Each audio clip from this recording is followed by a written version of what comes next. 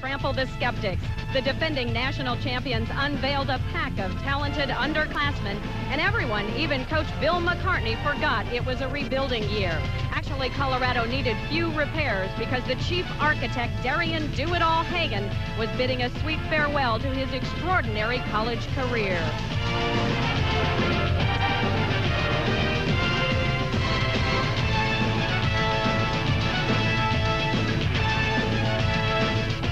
Alabama knows bowls, but who knew Coach Gene Stallings would be savoring a 10-victory season?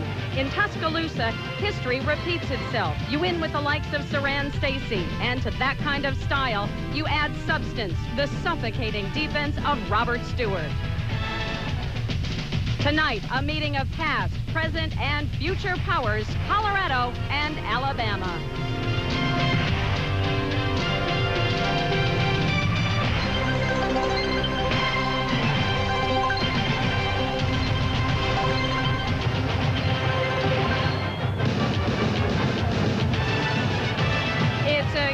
But colorful night in Miami for the Bowl by the Beach, the second annual Blockbuster Bowl.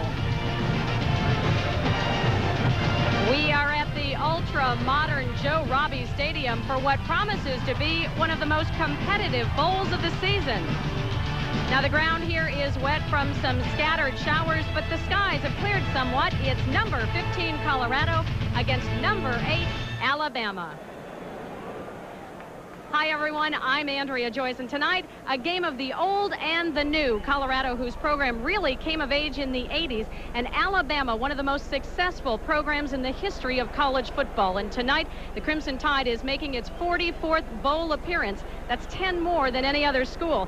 This also marks the beginning of the CBS College Bowl season. And for the call on this first one, let's send you upstairs to Jim Nantz and Dan Fouts. Andrea, thank you. It's great to be back on college football and a pleasure, Dan, to sit alongside with you tonight. And we're going to see the closeout of a career that's really one of the great option careers in the history of college football. I'm talking about the option operator for the Buffaloes, Darian Hagan, who led them to a national championship a year ago. And he's had such a wonderful career. I talked to Coach Bill McCartney just moments ago, and he says tonight's going to be the payback night for Darian Hagan's career. He's going to open up the offense, come completely out of character and junk the eye bone. So we're going to see Darian Hagan at his very best tonight. Wow, it's going to be something to watch. Darian coming back from a knee injury from last year's Orange Bowl. Also bouncing back from a knee injury in 1990, Siran Stacy for Alabama. He had a big season for the Crimson Tide, Dan. Well, this is a young Crimson Tide football team, especially on that offensive line. And what Siran Stacy has provided for this football team is leadership and that leadership has taken the form of great performance. You know, I think if there was ever one college football matchup destined for a close finish,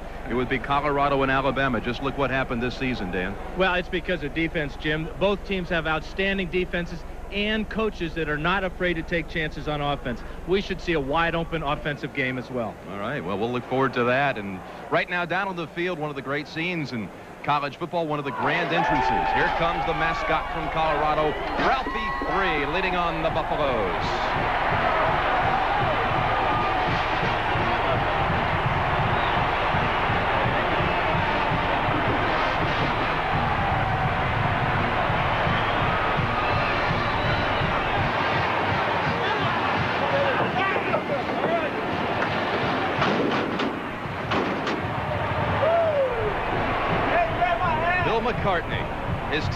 8-2 and 1 on the season, ranked number 15 in America. And a share of the Big Eight title. Three straight years, Big Eight champions, the Colorado Buffaloes. Working with us on the sidelines, we're pleased to have with us Jim Gray, and let's join him right now backstage. All right, Jim, as Alabama gets ready for its 44th bowl appearance, you can't help but think back to the man who led them to so many of those bowls, the legendary Paul Bear Bryant. Now, I had the opportunity to speak with current coach Gene Stallings, and he told me that he knows he's always going to play second fiddle to the Bear, but he does not view that legend as a burden. In fact, just prior to his team leaving Tuscaloosa, he took the entire squad to the Paul Bear Bryant Museum on the campus, and that proved to be a very motivational visit. It kind of gets you pumped up and adrenaline rushing, and and you want to you want to just kind of live up to the level and expectation everybody has for you because you played Alabama, and it's really really a, a great I think motivational too. Uh, he taking us there and, and seeing uh, what we're supposed to live up to and how good we're supposed to be. So as this team gets ready to take the field, Jim Nantz, more so than any other Alabama team in recent history, this one definitely carries the tradition of the Bear. Jim? Number eight in the country with a 10 and 1 record, the Crimson Tide.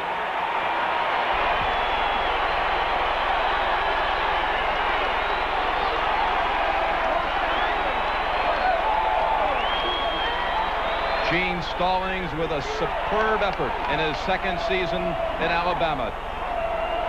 The only loss was to number three, Florida. It's Alabama and Colorado. College football is back on CBS.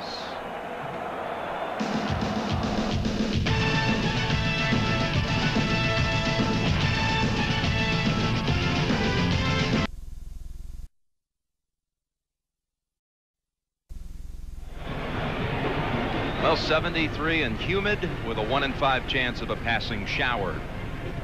Well, we showed you the entrance of Ralphie, and uh, let's take another look now with our Buffalo cam. And Dan Fouts, tell me, did the knee ever touch? Was he down? Well, instant replay is looking at it right now. Yes, definitely. Both the uh, right knee there and the right cheek of Ralphie hit the turf there. Uh, all I can hope for, Jim, is that that's not an omen for the Buffalo football team tonight. Palmer.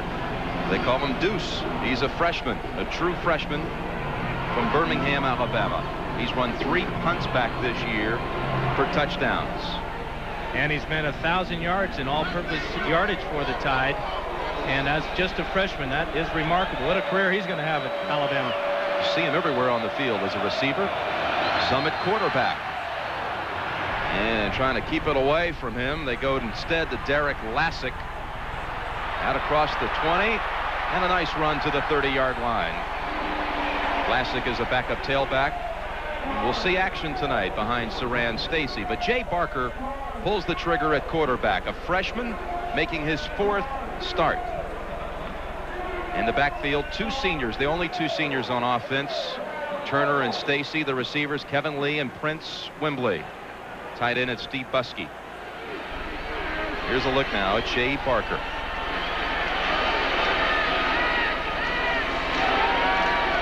Coming out firing to Stacy on the sideline route at about the 34-yard line. Very young offensive line for the tie, Dan. Toby Shields is the center, the center of attraction. He'll be going up against Joel Steed. That'll be a matchup we'll be watching. But uh, the big thing, Jim, though, is this youth on this offensive line. John Stevenson, just a true freshman there. He's uh, look, looked upon as being a leader for the future. Averages out as a sophomore offensive line. A freshman, a junior, and three softs. Second down at six for Alabama on the pitch. Here's Siran Stacy. Shakes off the tackle of Marcellus Elder, and Greg Thomas forced him out of bounds. At about the 37, Joel Steed. First team All-America, Walter Camp.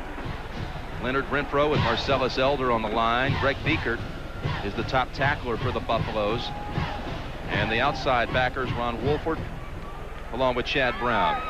Good secondary, headed by Figures and Bradford on the corners, and Hamilton and Thomas the safeties. Third down and three for the Crimson Tide.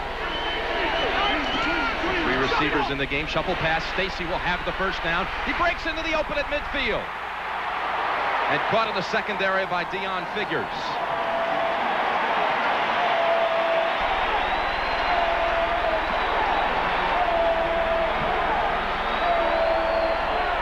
Thirty-two yards. Siran Stacy on the shuffle pass. Just a perfect call for the Tide as perfect execution as Wilson comes along on the trap block and then into the secondary. Deon Figures makes a touchdown saving tackle right there as he lays out. But a big third down conversion for the Tide, and they're in business. David Palmer is in the game, lined up to the right, now coming in motion. First and 10 from the 30. Here's this dangerous freshman touching it for the first time, and he gets about five. Eric Hamilton. Strong safety on the hit. Gene Stallings told us that in order to beat the Colorado defense, uh, players such as Palmer and Stacy are going to have to come up big and make some big plays. And he's not going to be afraid to use Palmer all over the field, as you mentioned, Jim. Uh, we saw him there on the reverse, and we'll also see him play a little bit of quarterback this evening. He ran a touchdown in from 10 yards out, lined up as a quarterback against Auburn. Second down and five to the short side with Stacy, and about two yards for Siran. He's been busy this week trying to pick up a passport, Dan. He's headed to the Japan Bowl, as several other players are, including his backfield mate, Kevin Turner. Yesterday at 6.30 in the morning, he was in Miami trying to get his passport all straightened away for that all-star game in Japan. And he had to go back to uh, have his picture retaken. He could have used this picture right here. That's a good one there. That's a good one. But going to the Japan Bowl, that's a nice capper to a wonderful career. And one of the coaches will be Bill McCartney. Third down and two. Out of the eye, Stacy on the pitch. Look out. They've got him for a loss. Chad Brown forced the play. And Leonard Renfro was in on that action, a loss of five. And in talking to Stacy yesterday about his uh, favorite play, says it's the toss to either the right side or the left side. Already this evening, we've seen the Tide run that three times. Well, the Buffaloes, they know it's coming as well. That time they did a super job and dropped him for a big loss. Matt Wethington will attempt the field goal of 46 yards. His career long is 42. Alabama's had trouble in this area this year. Field goal attempt on the opening drive. Wethington. Not enough. Touchback.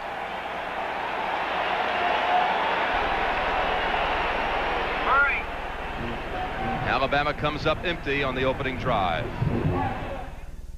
That's life. You guys around next week? No. Line of scrimmage is the 28. Let me correct that. They bring it out to the line of scrimmage after Alabama missed the field goal attempt. Hagan throwing right away. Tried to swing it over to James Hill, starting fullback.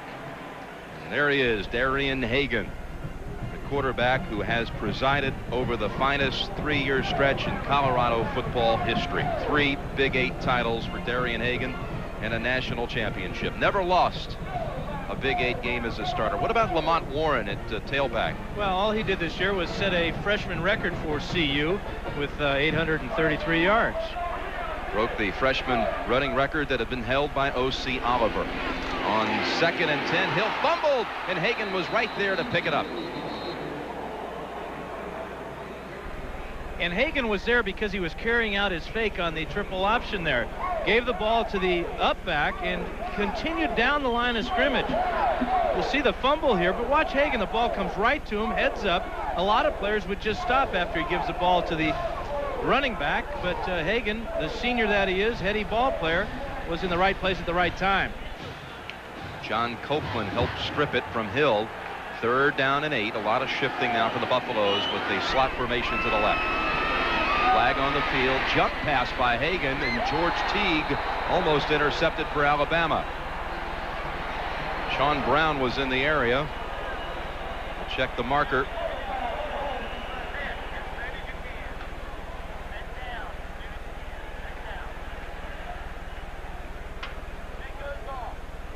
Colorado will get another crack at it. It'll be third and three after the five-yard step off. And let's check in now with the Buffaloes offensive front. It starts strong at center with Jay Leeuwenburg, an All-America, consensus All-America this year. But newcomers on the rest of the line, including freshman Clint Moore, sophomore Roger Ivy, Anderson and Hanson are the tackles. Jim Hanson, all he is is a 3.7 GPA in aerospace engineering. How about that? Now, that's a real genius. I'm telling you, he's hoping to be a Rhodes Scholar one day. He's number one right now in the Colorado School of Engineering, number 77. Jim Hanson, the right tackle. Third down and three for the Buffs. Another flag, and they sack Hagan. Antonio London came blitzing in on the quarterback. Turf wedged in the face guard. Yeah, he got a little turf, but uh, he might also have been offsides. We've seen Colorado do a lot of shifting out of the uh, normal formations, but this one's going to go against the Buffaloes. The biggest problem that McCartney said as far as changing his offense is can he still protect the quarterback? Obviously, they can't protect him this time as Antonio London comes in and picks up his fifth sack of the year. Well, it was a motion penalty, Dan, against Colorado. The penalty refused, so give the sack to London and bring on the punt team. And there he is, David Palmer, freshman with three punt returns for touchdowns, had a fourth one called back this year. McCartney told us last night that he will punt to him. He's very proud of his punt coverage team and very confident if he gets a punt that stays up there for four and a half seconds. Mitch Berger is the Colorado punter, averaging 41 yards a punt. He was blocked once this year. This one a liner to Palmer at the 34. Kind of punt that normally he would relish to run back. And he is swung down by Greg Thomas after a seven-yard run back, a 38-yard punt. So each team has had it once. We're scoreless opening quarter. Blockbuster Bowl number two. This in 1989, now with the Tampa Bay Buccaneers. Keith, I want to ask you, there are all these reports about Bill Parcells coming to the Bucks as their head coach. Would you be in favor of that? Would you like to have him? Well, um, it was a business decision made by the front office, and I'm, I'm going, I'm going whatever they want to do. You know, it'll be great to have him, but who knows what he's going to do. Okay, you're out here for Alabama tonight. Let me ask you about our game tomorrow. You played against the Bears. You've seen the Cowboys all week. How do you feel about tomorrow's game? Well, you have to look at the Bears. They're old line. They've been together a long time. They're very experienced. They know how to work together. But Dallas, they're, they're a newborn. They're a newborn team, and they're hungry. All right, Keith, best of luck to you. Let's go back upstairs to Jim Nantz.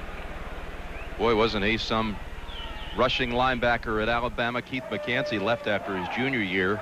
We just saw a near interception by Deon Figures on a pass intended for Steve Busky. So the Tide now facing second and 10. The ball was almost deflected over to his partner there, the, the deep safety, but uh, trying to hit the tight end down the middle didn't work. Lassic is in the game getting the pitch and a good run for Derrick Lassic with a lead block from his fullback Martin Houston and Matt Hammond at left tackle. We're seeing now Stallings go to his second backfield of Martin Houston and Derrick Lassic. Lassic gives the Tide a, a little different type of runner than Siran Stacy. What you see with Lassic is a guy that changes direction very quickly, very enthusiastic young man, really enjoys playing. Junior from Haverstraw, New York, averaging over five yards a carry. Third down and four after a six-yard gainer by Lassic, coming out in, in motion now. Come the Buffs. Barker gets it away. And first down catch by Curtis Brown in Colorado territory at the 45. Wonderful play by Barker as he avoided the rush, bought himself a little bit of time. Watch the blitz come right up the middle here. There's Biekert 19. And he gets out to the outside away from Johnson. There's his wide receiver open in the middle. But the reason that Barker is playing right now instead of Danny Woodson, Gene Stallings told us, well, it's just common sense. The man has performed the last three weeks. All victories, all on the road. Danny Woodson backs him up tonight. He had started at quarterback the first eight games. Stacy fumbles the pitch but falls on it. Smothers it near midfield. Chad Brown uh, was there for good measure. A loss of six. What happened on this one, Dan? Well, it appeared he was looking upfield. This again is a toss play, uh, Stacy's favorite play. And before he can get his mitts on that one, it went right through the breadbasket. But who can blame him? Staring him right in the eye was Chad Brown. He's got some interesting plans for after this bowl game, huh, Jim? Got a nice little trip planned to Central America, Costa Rica, for a snaking expedition. We'll have to talk about that a little more. I know you'd like to have joined him. Second and 16, and whistle it dead. Delay a game.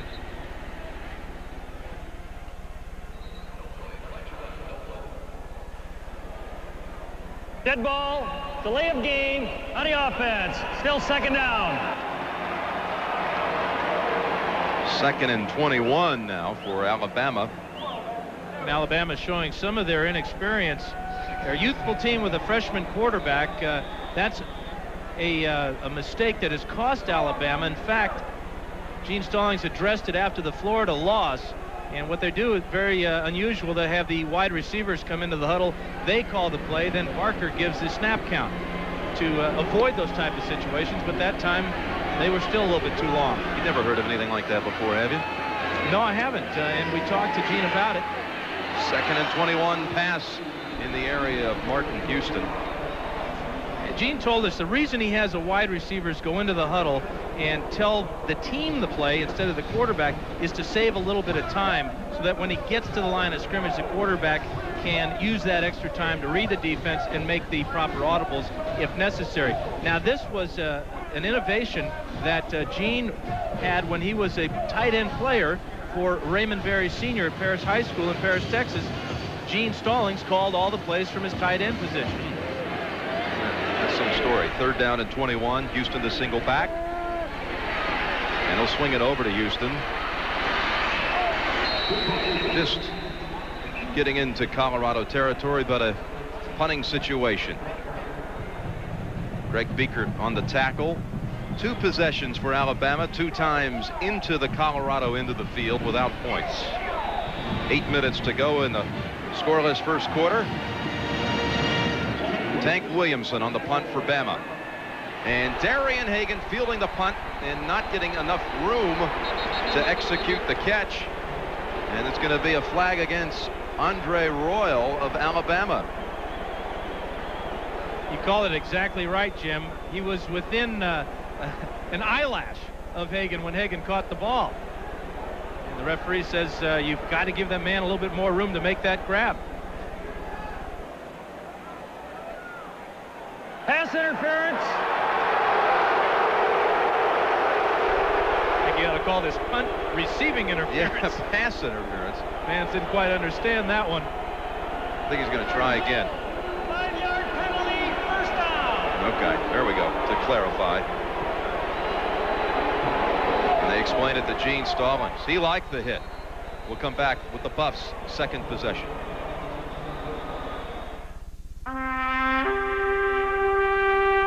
They go on how this team has gone the last three years.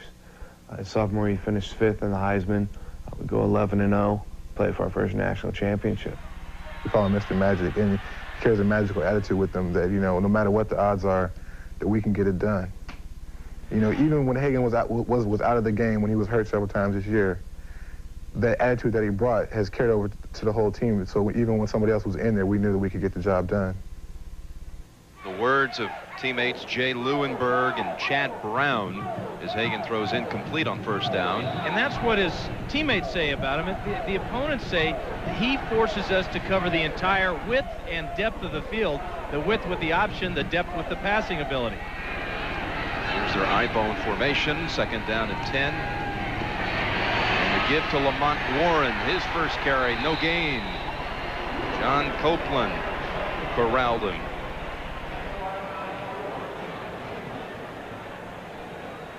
One of the great matchups tonight, Danny, is Jay Leeuwenburg at center for the Buffs against Robert Stewart, the nose man, number 34. Well, here it is right here. Watch Leeuwenburg come off this block here on Stewart and push him out of the way. But Stewart, with the quickness, runs himself out of the play, but Leeuwenburg with the good agility to stay with him and push him by. And flags everywhere before the snap. One for Colorado appeared to move first. They got Craig Anderson, the left tackle. Dead ball, false start on the offense.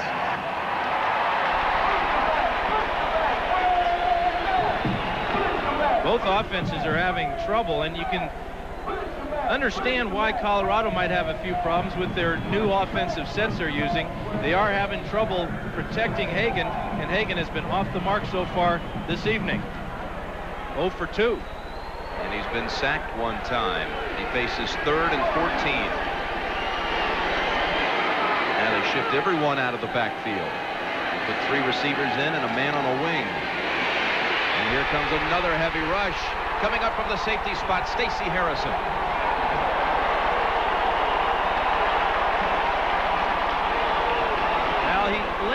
As Dirty Harry, and I think he just made his day, Jim, getting that sack. Again, Colorado having all types of trouble protecting the quarterback. From the left side of the screen, you see number one sneak up here, and there's just nobody in the backfield to protect the quarterback, and he's got no shot at all as Copeland comes from the right side as well.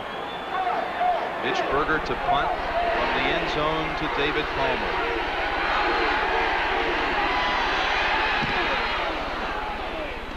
This one a good punt out to the 50. A high step by Palmer to free himself. Look out!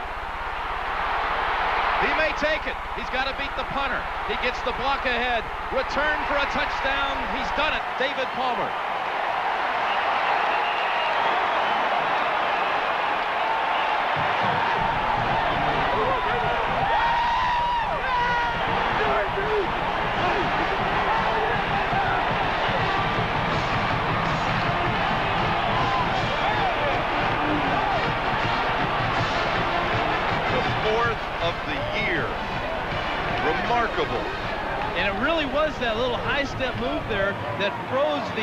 Team of the Buffaloes. And then when he got inside the 20, he had six red shirts to take him on in. that poor punter never had a shot, did he? Ah. Good blocking out ahead. Will Brown took out two Buffaloes. Extra point is added.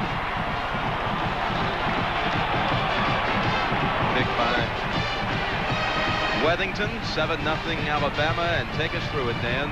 Well, it's the uh, confidence in his own ability that, allows him to make this move here. Saw the little hole between Leeuwenburg there. Now he gets his convoy to the outside. Count the number of red shirts that lead him on into the end zone against the punter. And Antonio Langham finishes off the punter, takes him out. Yards, and you just knew it was a matter of time before Palmer made a play. This is his eighth touchdown of the year. As you said, Jim, his fourth as a punt returner. Remember, he had one punt return for a touchdown that was called back. And Bill McCartney was kind of, prophetic yesterday when he said that this man, Palmer, is more electrifying than Rocket Ismail. And he had to face the Rocket the last two years in the Orange Bowl. David Palmer, touchdown returns this year of 56 yards against Vanderbilt, 69 against Tulane, 90-yard run back against LSU, and he opens the scoring tonight in the Blockbuster Bowl with a 52-yard run back. At 5'9", 165 pounds, they call him the Pocket Rocket.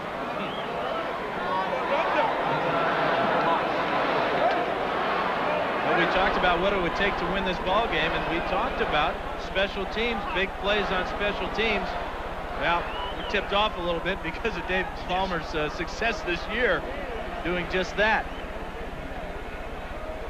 Steve Cole to kick for Alabama. 6-11 remaining in the first. 7-0 tied. Chris Hudson and Charles Johnson standing on the goal line for Colorado. Short kick. Back to one of the deep returners is Johnson on the run back. And out to the 32 where five Alabama players take him out. Joe Robbie Stadium, the second Blockbuster Bowl. Number eight, Alabama, and number 15, Colorado. Our overhead shots tonight from the Goodyear blimp, Spirit of Akron, courtesy of Goodyear tires. Tonight's pilot is Captain Dick Esch from Sunrise, Florida.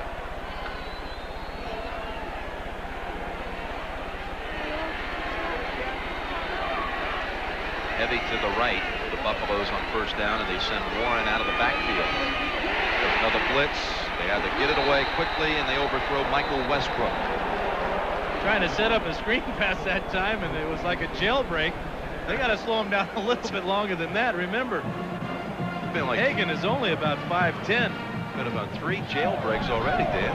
We have 127 members of the Crimson Tide dressed out this evening. There they all are. And you memorized every single name and number. Well, uh, I, I, got to about the 119th, and I, I, gave it up because they're starting duplicating numbers on Who is number 111? yeah, right. Okay, second down and 10. A lot of jumping around. They're going to get Colorado for a false start here.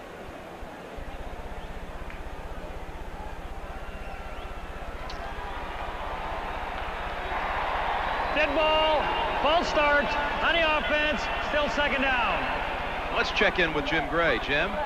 All right, Jim. Bill McCartney told us yesterday that everybody in Colorado criticized him for kicking to dangerous punt return men. Well, he told us that over the past 10 years, his career in Colorado, that only four guys have taken punts back all the way. Three of them are names you're going to recognize. The Rocket, Barry Sanders, now Palmer. He also said that over the past eight years, they are plus two on the net uh, return. So they're doing pretty well. Let's go back upstairs. Hagan's pass is batted and falls incomplete. Yes, that punt return by the Rocket was the controversial one for McCartney, but fortunately for Colorado, it was called back because of a clipping penalty in the game's final minute.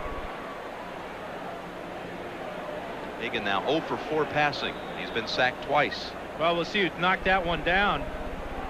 Right in here, watch as he gets his hands up. It's number 94, John Copeland. He bats this ball a long way, too. Here's Lamont Warren running it back to the original line of scrimmage. George Teague on the tackle, and the Buffs have to punt again.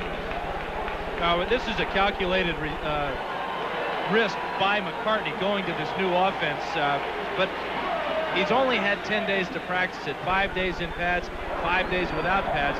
He knew there were some kinks he had to iron out. But right now, this biggest problem is just protecting Darian Hagan. 0 for 4 start for Hagan. And his other problem is number two, David Palmer, who awaits another return opportunity.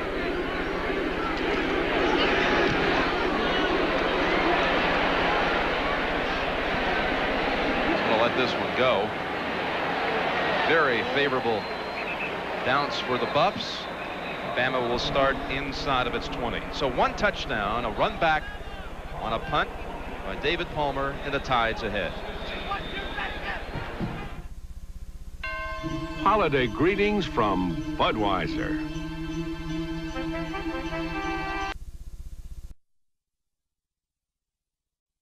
Running play for Turner.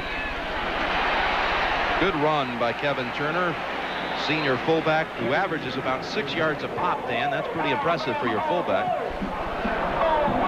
And he picks up about six on this play, Jim, so he's right on uh, his average. Actually got all the way up to nine yards, but it's an inside run, a tough run by Turner, but that's his bread and butter.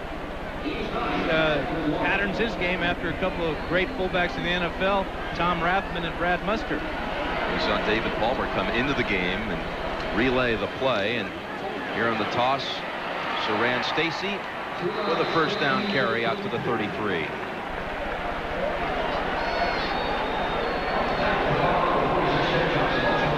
Turner and Stacy works so well in the backfield.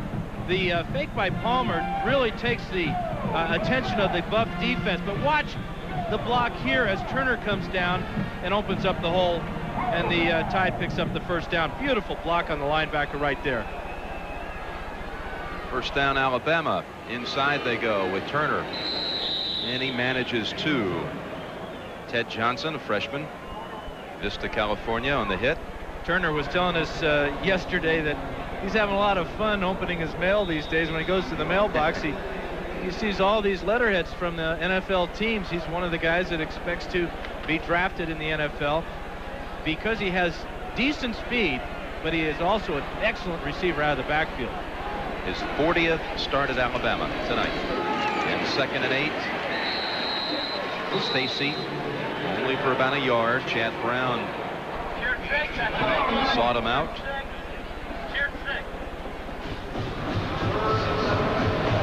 Well, this is like uh, the way it is as you're down in the pits here, Jim. Not a lot of room there as Brown and Johnson go airborne there to bring down Siran Stacy. Short gain. Third down and seven. Palmer lined up to the right side.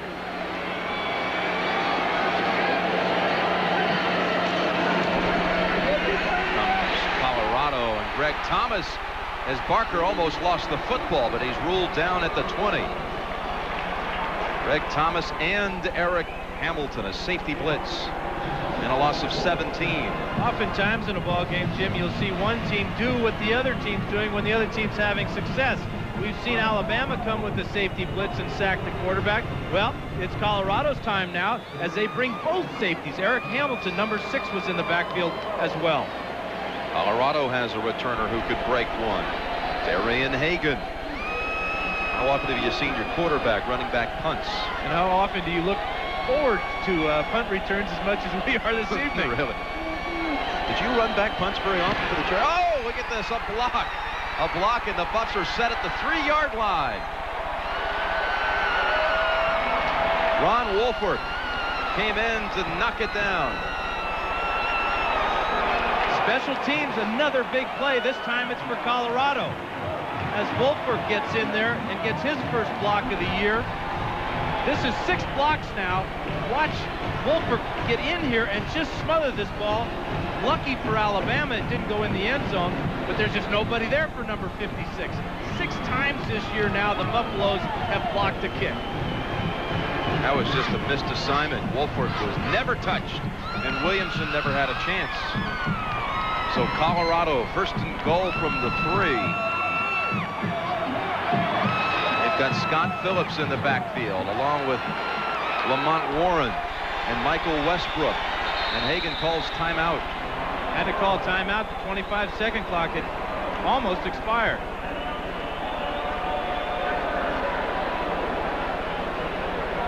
I was about to ask you, did you ever run back a punt at any level of, of football? No, and I never blocked one either. hey, Mama. Well, let's talk about bowls coming up on CBS Tuesday. UCLA against Illinois led by Jason Verduzco. The Illini and the Bruins, Illinois. Lou Tepper will make his debut as the Illini coach. And on January 1, Terry Bradshaw will join me for Florida State and Texas A&M. Florida State, 10 and 2 on the year, led by Casey Weldon against the underrated Texas A&M Aggies. That'll be a great one. We're seeing two young teams here tonight, Jim, but that uh, Aggie team is a young team as well. Back to Texas A&M, when you take into account the entire top 25. They have the most underclassmen. I'm speaking of freshmen and sophomores, the starters by far. They have 13 under or freshmen and sophomores as starters. Colorado is second with nine. Now, here we go. First and goal. Inside they go with Phillips. And he gets to the one. The Buffaloes have uh, struggled mightily so far in this first quarter, Jim, but it, there's nothing like a big play on special teams, especially starting your drive off on the two-yard line that uh, will pump a little bit of life into the Buffalo offense. Henry, Phillips, and Warren in the backfield. Again, it's Phillips, straight ahead, touchdown.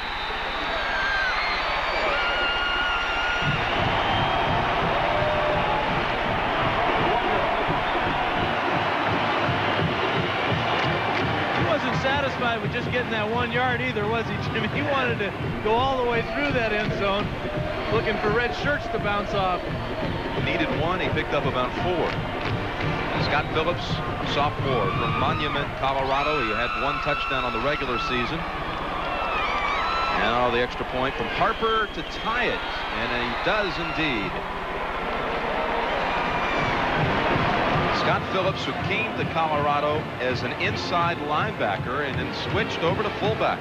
Well, let's take a look at Ivy and Hanson right here as the play hits right up the middle to Phillips. And a nice job of the guard, Clint Moore, coming over with the seal block.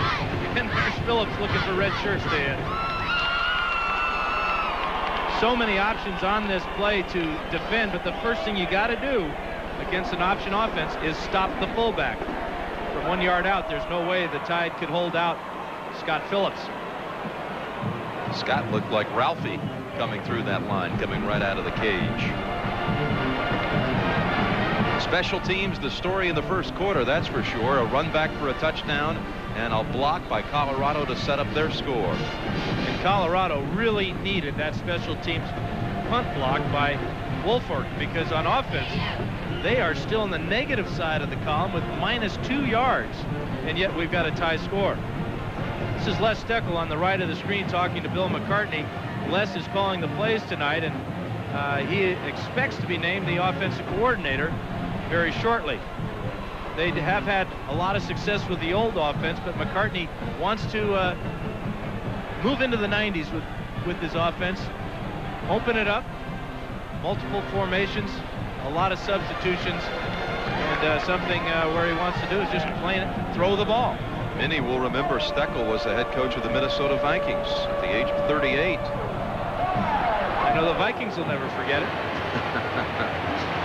David Palmer from the goal line. 14-yard run back. Good coverage downfield. Tony Senna, a senior, makes the hit on the kick coverage. And tomorrow, wild card action on CBS. All get started at 12 noon Eastern with the NFL today. The Cowboys back in the playoffs, and Jimmy Johnson and Mike Ditka will duel for the first time. The winner of that game will be taking on Detroit in the divisional round of the playoffs. As Atlanta's victory today over the Saints cinched or clinched the Falcons' next appearance, it'll be against Washington next Saturday. The 15, Derrick Lassic. Nice cut and a hard-earned three or four yards. You think about that uh, ball game coming up tomorrow, Jim, and I know the Bears or the Bears were hoping the for Bears. the Bear weather, but uh, they're not going to get it. Uh, the, the, Cowboys will come in there to uh, Soldier Field and play in very pleasant 45 degree weather, and that has to concern the Bears. They were murdered by San Francisco the last game of the season, and the Cowboys are the hottest team in football. Well, the most points Mike Ditka's ever allowed, seeing one of his teams allow. I wouldn't want to have been at practice this week as a member of the Bears. Second and seven, and they get to Barker again, and it's Woolfork, the punt blocker.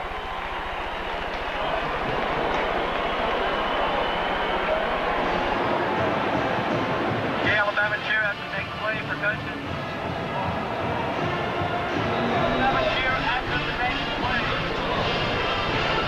Watch this man right here. You think the uh, football is tough game here. Watch as this helmet goes flying off. It's Jeff Bruner right there in the middle, and uh, he had help. That's brutal for Bruner. Third and 12.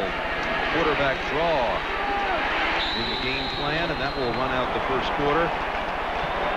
We'll start the second with a punting situation, and that's where all the action has taken place so far in this blockbuster bowl with the score after one Colorado 7 Alabama 7 will return to the blockbuster bowl after this message and a word from your local station.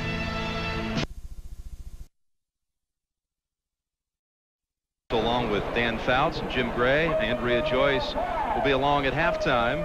7-7 our scores we start the second quarter. And Again, Dan, all of the excitement so far has happened in punting situations, and here's another guy who could break one, Darian Hagan. And wouldn't you uh, know it, he'd love to uh, put one in the end zone. This is about the same spot on the field that Palmer returned his for the 52-yarder. Colorado was trying to set up a return, short punt by Williamson, and Hagan will just let it go. So very favorable bounce for Williamson to help the stats and backs up the Buffs to the 34-yard line. We're sideline bound right now to our man Jim Gray. Jim? All right, Jim, the All-American center for the University of Colorado, Jay Leeuwenburg, is a diabetic. He injects himself twice a day with insulin. Now, he's been living with this condition for 10 years, and it really doesn't affect his football, but at halftime, he'll go in and take a little blood sample, check his blood sugar, and he'll adjust because of the stress that it can affect his diabetes. So he's got a lot to look after in this high humidity, but the trainers are not worried right now. Let's go back upstairs. Again, without a single back, Hagan fires it over to Henry, and off the mark on that one, and Darian continues to struggle in the passing game.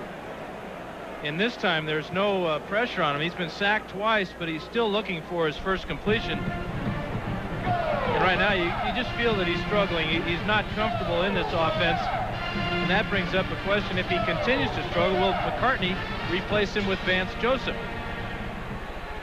Lamont Warren is the single running back. He'll run it, but he is trapped for a one-yard loss. Jeremy Nunley coming in for John Copeland and making a nice play for the Tide.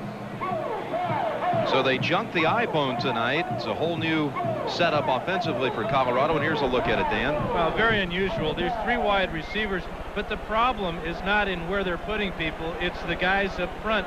Those front five on the offensive line are not uh, doing the job, either pass protection or run blocking. Third and 11. Hagan has a little more time, but he'll still scramble out of there with it and come up shy of the first at the 40. Now that's the best play for Darian Hagan because what that this offense allows is more room for him to use his running ability. That time he had a nice gain. The unfortunate thing is he had so far to go for the first down. Colorado punting unit hustled onto the field almost before Palmer could get into place. Look at him again with a stutter step move, but Chad Brown wrestles him down right away. 48-yard punt by Berger and a four-yard run back with a flag.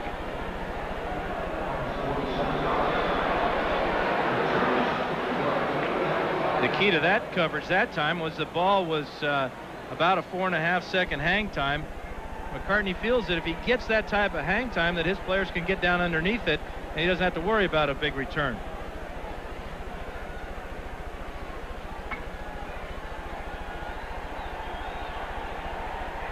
There's a clip during a run back. Penalty will be paid for us. half the distance from the spot. First down. Well, that will take Alabama inside of its own 10-yard line. Offensively, it's been somewhat like we expected, Dan. It's 7-7 at the start of the second quarter. We'll be right back.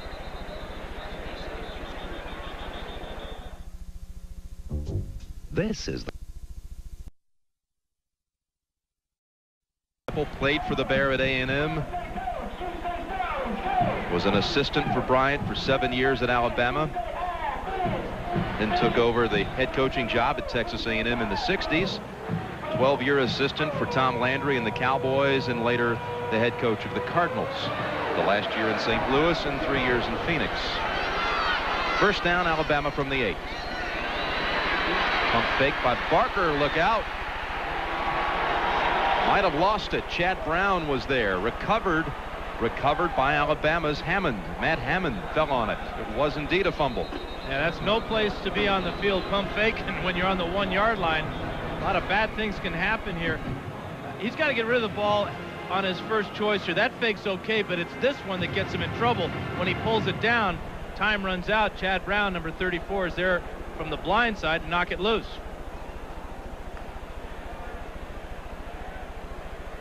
Chad Brown, an active first half for the junior from Pasadena. Used to sell programs at the Rose Bowl as a youngster. Toby Shields, the starting center for Alabama, being helped to the sidelines after a six-yard loss on the last play.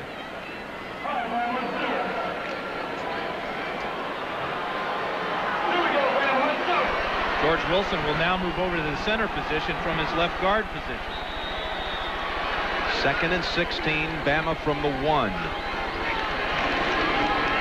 Look out, that's a safety. Martin Houston is stuffed.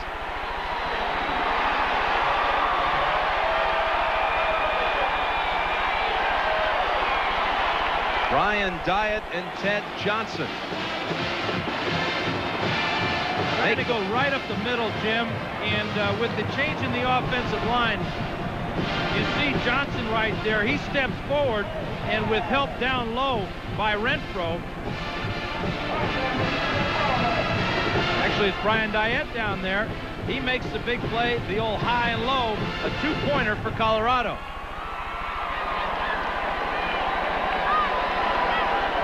Ted Johnson, a surfer from California.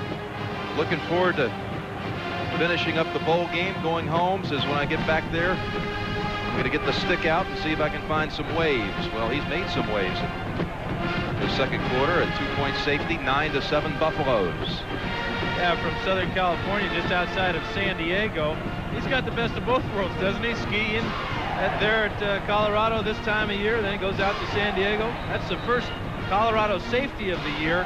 And what the Buffaloes have been able to do with field position is what they've been unable to do with their offense. Special teams has made the plays, for them, and now their defense comes up with two points. That Alabama series set up by good punt coverage by Chad Brown and a penalty tacked onto it, a clipping call that backed Alabama inside of the 10. And they retreated from there. Now the Buffalo offense should get good field position as Alabama's forced to kick from the 20. Hank Williamson with the free kick off the side of the foot, fumbled at the 50, but fell on by Colorado.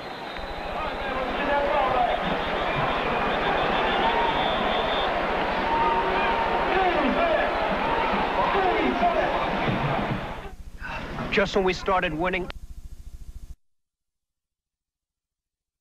They circled that one a year in advance.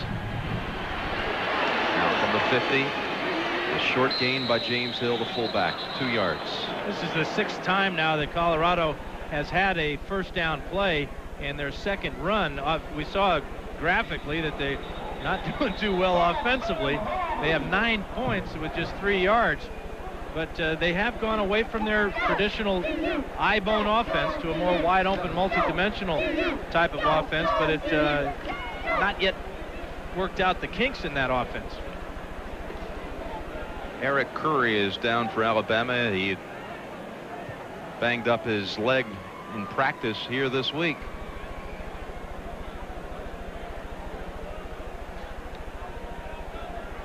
And Jeremy Nunley has already come in to replace him. Curry says, hey, I'm fine. I'll I'll walk it off. Now this was it happens so often. You just get tangled up in some of these piles here, and especially when you have all this beef coming down on top of you. There's Curry, number 80, to the bottom of the screen there, and he got the uh, worst of that pile up.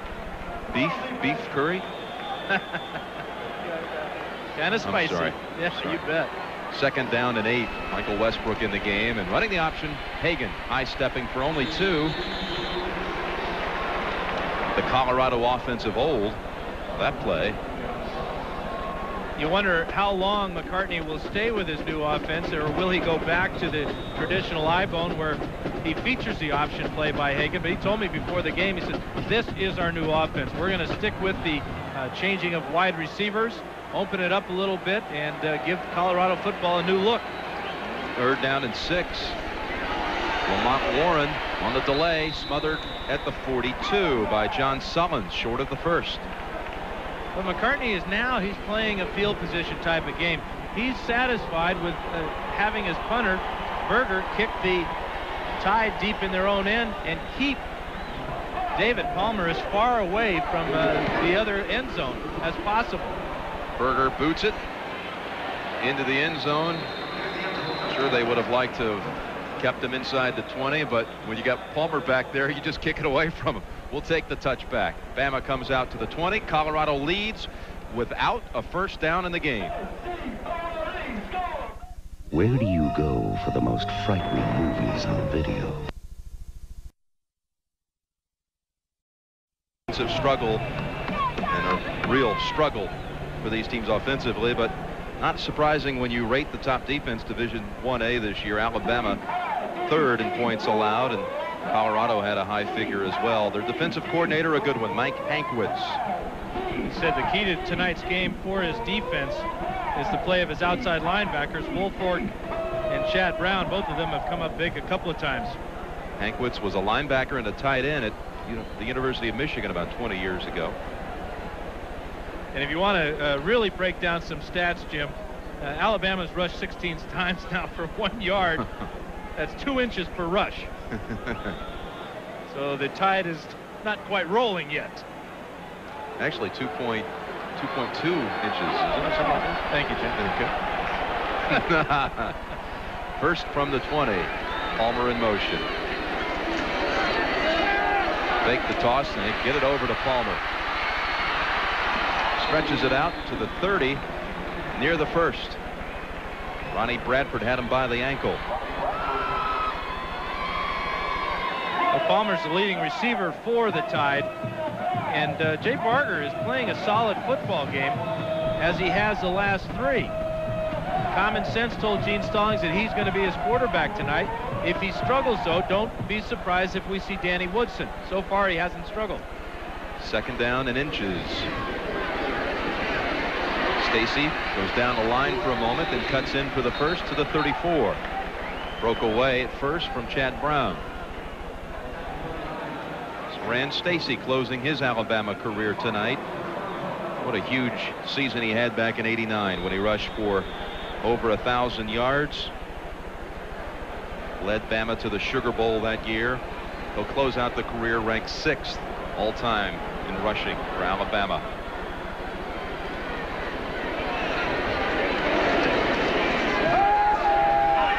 Barker good time now comes out of the pocket. Of about three. Brian Diet got to him first.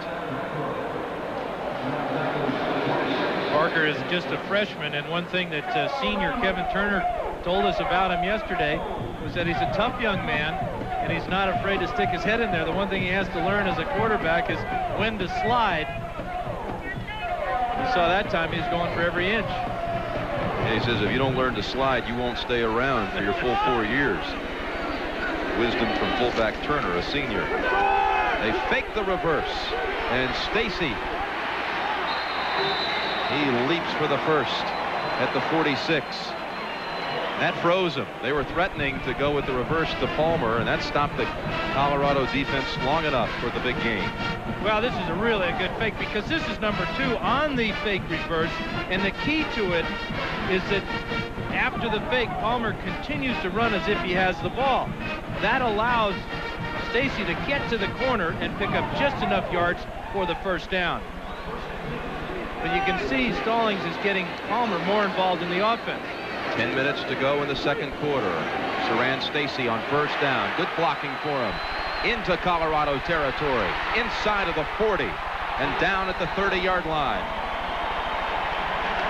Matt Hammond cleared out the left side for Siran Stacy. Stacy is such a determined runner. That 22-yarder Really, he should have only got half of that because Greg Thomas, number 27 for Colorado, had him pretty good. We're going to see an outstanding block by fullback Kevin Turner that gets Stacy to the corner. He's in motion here, pins the linebacker to the inside, and now watch the strength of Stacy pull away from Greg Thomas. David Palmer downfield with a block, and coming in at the last second was Roosevelt Patterson. Not this time for Alabama. One yard loss. You see number 56 out there, Woolfork, and uh, he knows the right number to wear. That's the, the number, obviously, of Lawrence Taylor of the New York Giants. And I think every young outside linebacker playing in high school or college stands in line and, and prays that the uh, equipment staff gives him that number. Woolfork is playing like LT so far tonight. Second down and 12 deep pitch into round with Palmer only to the 30 and that 56 has been a popular number not only because of LT but Pat Swilling and Chris Doleman Harvey with the Cardinals it's really becoming the linebacker's number of choice Jeff Lageman who's a converted linebacker for the Jets he's got his team in the playoffs tomorrow but that number uh, you have to back it up with performance, and all those fellows you mentioned, Jim, are outstanding players as well. Third down and nine. Bama from the 30 of Colorado. Look out. They get him. And a football free fell on by Kevin Turner. You could see him coming in from the right side. Beekert and Woolfork on the smash. Well, the Buffs have uh, 38 sacks on the year coming in, two so far this evening. This is real close to another one. Again, it's the safety from the outside, Greg Thomas, six foot two, 220 pounds packs a big wallop on the quarterback. And that play took Alabama out of field goal range. Fourth sack here in the first half for Colorado as Eric Hamilton is helped to the sideline. So Tank Williamson is in. It's a punt near the 50.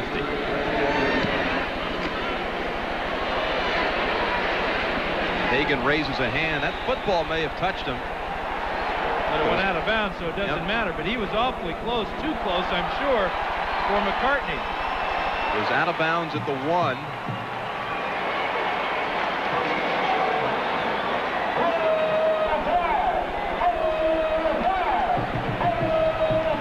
Inside of the one. Let's go to our colleague Jim Gray with a special guest. Jim?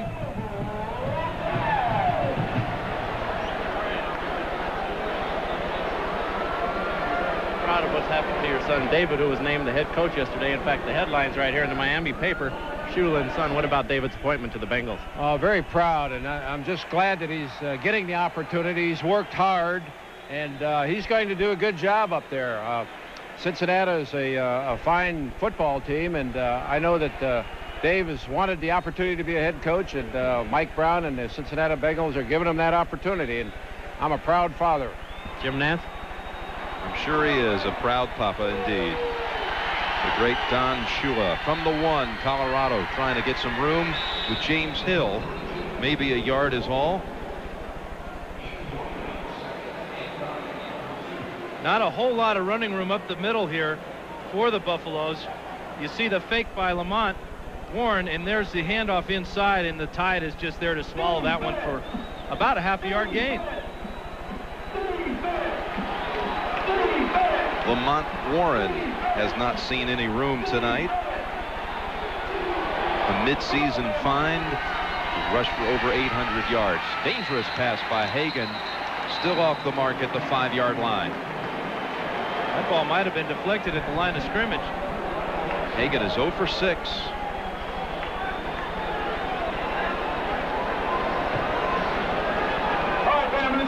Midway through the second quarter, 7.29 remaining.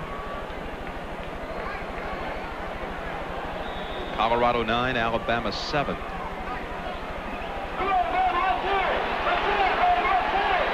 Colorado still looking for its first first down. Third and nine, and coming up short is Warren at the eight. George Teague, the free safety for Bama, makes the tackle at the eight. Colorado will punt from the end zone. Same kind of situation on the field where David Palmer ran the punt back in the first quarter for an Alabama touchdown.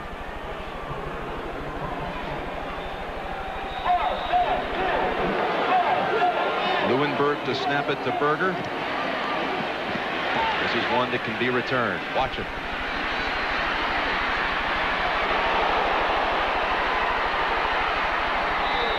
Ran to the near side of the field and a nine-yard run back after a 43-yard punt.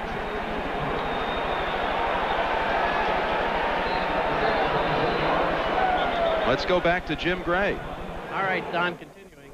There have been so many changes in the NFL. Eight of your peers have left their jobs since the end of the season, particularly Chuck Noll. What's your thoughts on all these changes? Well, that's really disturbing to me because uh, there are a lot of uh, fine football coaches that are out there now without jobs. And uh, a- as a coach, you'd like to see everybody get full opportunity to either do it or not do it. And I don't know if some of them have had full opportunity. Uh, you hate to see a guy like Chuck Noll bow out, Chuck Knox, you know, just one of the uh, uh, excellent football coaches that I've known or coached against. And uh, then some of the younger coaches uh, are also uh, out of work. So I hope everything gets straightened out and that uh, these uh, staffs get resolved. All right, Don, we'll continue with you and Mike in just a moment. Jim Nantz? Chad Brown a little gimpy on the punt return coverage. Rodell Guest will come in now. Outside linebacker for Colorado to replace him. You know, Jim, uh, I've had a lot of thrills in my playing career for the San Diego Chargers, but in my broadcasting career, I was lucky enough to be here for Don Shula's 300th win, and believe me, that was a great thrill to see uh, probably the greatest coach of all time pick up that uh, wonderful milestone. The 44 this time. They do run the reverse with Lee, Kevin Lee. And they'll lose tremendous yardage is Ron Woolfork. Tackles him back at the 42. That's a 13-yard loss. Woolfork has been the star tonight for Colorado. A sack, that big tackle for a loss, and a blocked punt.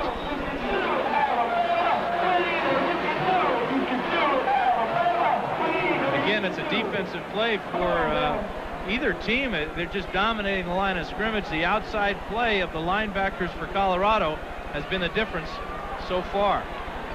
He sends Stacy out as a receiver on second and 23. Another big play defensively. Chad Brown sits out one play, comes right back, and reads that play perfectly. He's a tough guy, Jim. I mean, the guy has 16 snakes or something in his room back in Boulder. Number 34 from the left side of the screen is just going to smother Stacy in the backfield. You know what that's called? What's that? According to Robert Wool, a saran wrap. as he took Stacy one-on-one.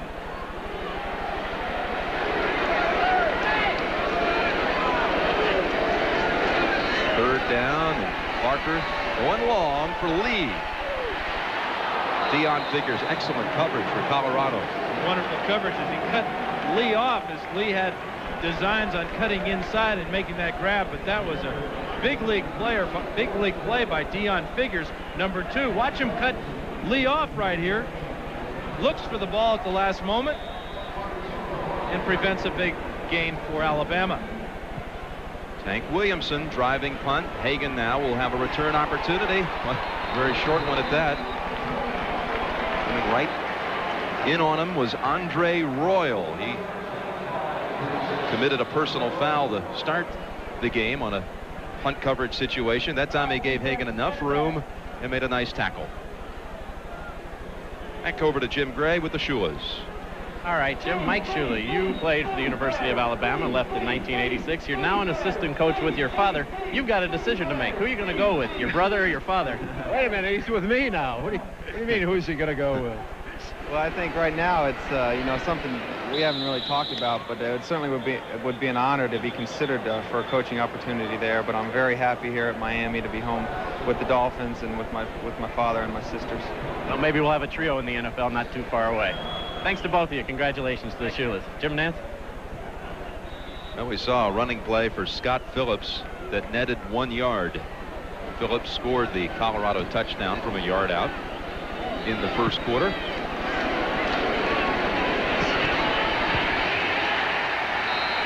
All the way back at the 12. Lemanski Hall on Lamont Warren. Well, the Tide is saying, hey, listen, we got some outside linebackers too. Number 11 is Hall. Here he is right here. Watch as he gets up the field again. Nobody to block Lemanski Hall. And he drops Warren for a big loss. Just gets inside the block there, or the attempted block by Mark Henry. Third and 18. Interception at the 50. Mark McMillan. Mark McMillan inside of the 20. Mark McMillan near the goal line. A yard shy. Jim Hanson made the stop for Colorado, but the Tide is just inches away from the goal line after a 49-yard run back. oh, giving it his best Deion Sanders imitation, and he gets walloped from behind by a teammate. But I talked to McMillan on the field before the ball game, and this ball is just poorly thrown, underthrown by Hagan as he's trying to hit the wide receiver at the top of the screen all the way down the field. McMillan had to come back on this ball as it starts to whack a little bit, and now he picks up the convoy down to the one-yard line. Everyone in tight. Straight ahead for Bama. Did Stacy make it? No.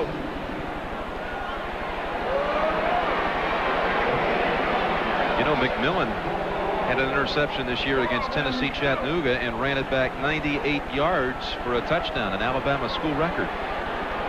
He almost had another one tonight.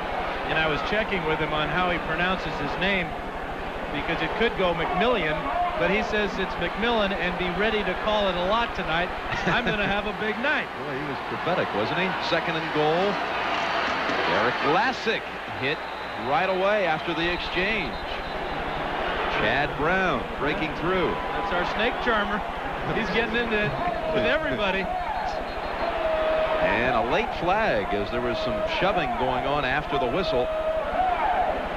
He just crashes in from the left side. Got a lot of help underneath. That penetration of the Buffaloes was the key. Dead ball, personal foul on the offense. They're down. Those, uh, those just do no good at all. I mean, they're just useless. So the, the only thing that they could do in that situation is have the players sit out of play. In that way, you're penalizing both teams and both players for engaging in that type of activity. But by having offsetting penalties, so what? Yeah. Three minutes to go in the half. Colorado 9, Alabama 7. Third and goal. Stacy tries to reverse his field. Ron Woolfork makes the play again for the Buffs.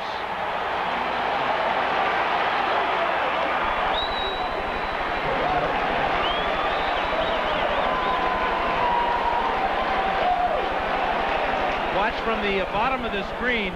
Again, it's an outside linebacker, Woolfork, that gets the penetration and forces Stacy back inside where all those gold helmets are. The Tide started this drive on the one-yard line after that interception, and now they've got to settle for a field goal. Wethington from 25. Jeff Wall on the hold. And just barely. Ooh. Those goalposts are 18 feet 6 inches apart, and he used every bit of that.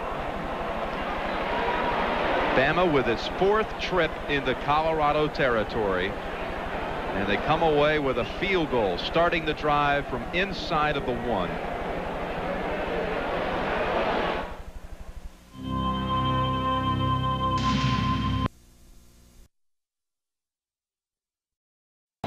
Gray, Andrea Joyce coming up at halftime. She'll be joined by Mike Francesa. Talk about this coaching carousel that has been changing on a daily basis. Get an update on the playoff situation from earlier today.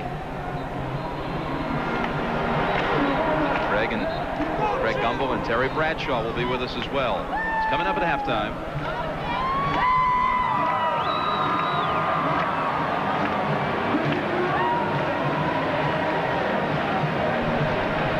Jim, we predicted it. It would be a defensive struggle this evening. Big plays uh, by special teams and defense. Colorado on total offense just 10 yards. Alabama not much better with 71 yards. But they blew a big opportunity that time to get a touchdown. After McMillan's return took the ball all the way to the one-yard line, they retreated before they kicked the field goal to go ahead. Colorado still without a first down. Amazing. Colorado's points on a safety and a three-yard drive set up by Ron Woolfork's blocked punt. Charles Johnson is back along with Chris Hudson. Waiting for the kick from Cole.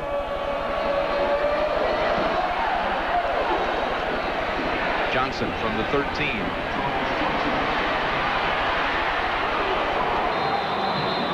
Burst out to the 34. Irving Spikes spotted him at the 34. We've got wild card action tomorrow on CBS. The Dallas Cowboys and the Chicago Bears. 12 Eastern time with the NFL today. Greg and Terry, along with Leslie and Pat O'Brien. And then Pat Summerall and John Madden will call the Cowboys and the Bears tomorrow on CBS. The winner that game plays Detroit. Everybody shifting out of the backfield. Watch the Buffs two-minute drill. Flag on the field as Hagan comes back. Gets a hard-earned two. Steve Webb manning that side.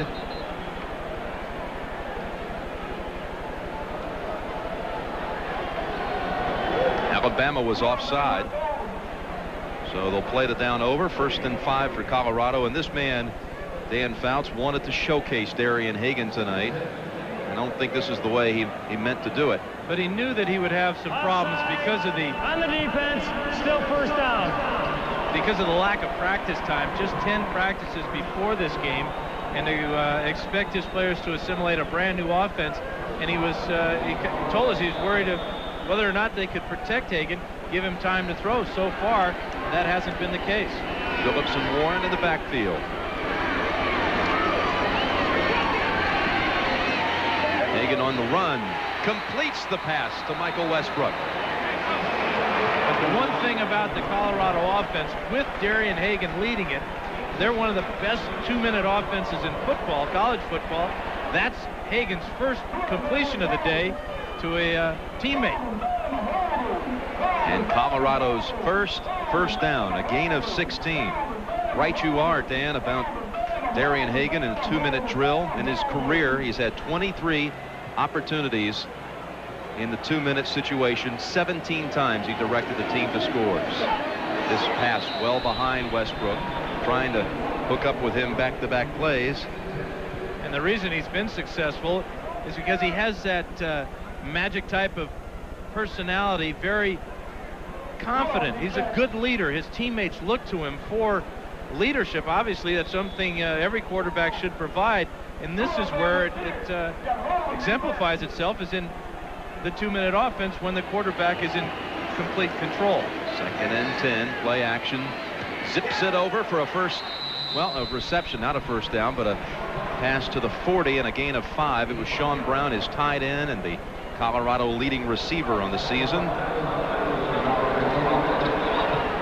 That magical season of 89 for the Buffaloes. Uh, Hagan had nine chances, nine times he drove his team for scores in the last two minutes as Lamont Warren heads to the locker room early. Play action on third and five, and Hagan with a flag on the field fires on the run incomplete. They're going to get one of the Buffaloes for holding.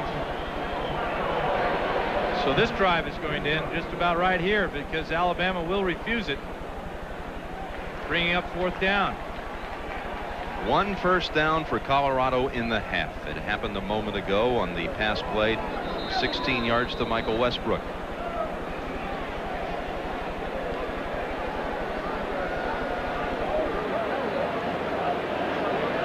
And Mark McMillan is shaken up for Alabama. Dan, the interception maker a series ago.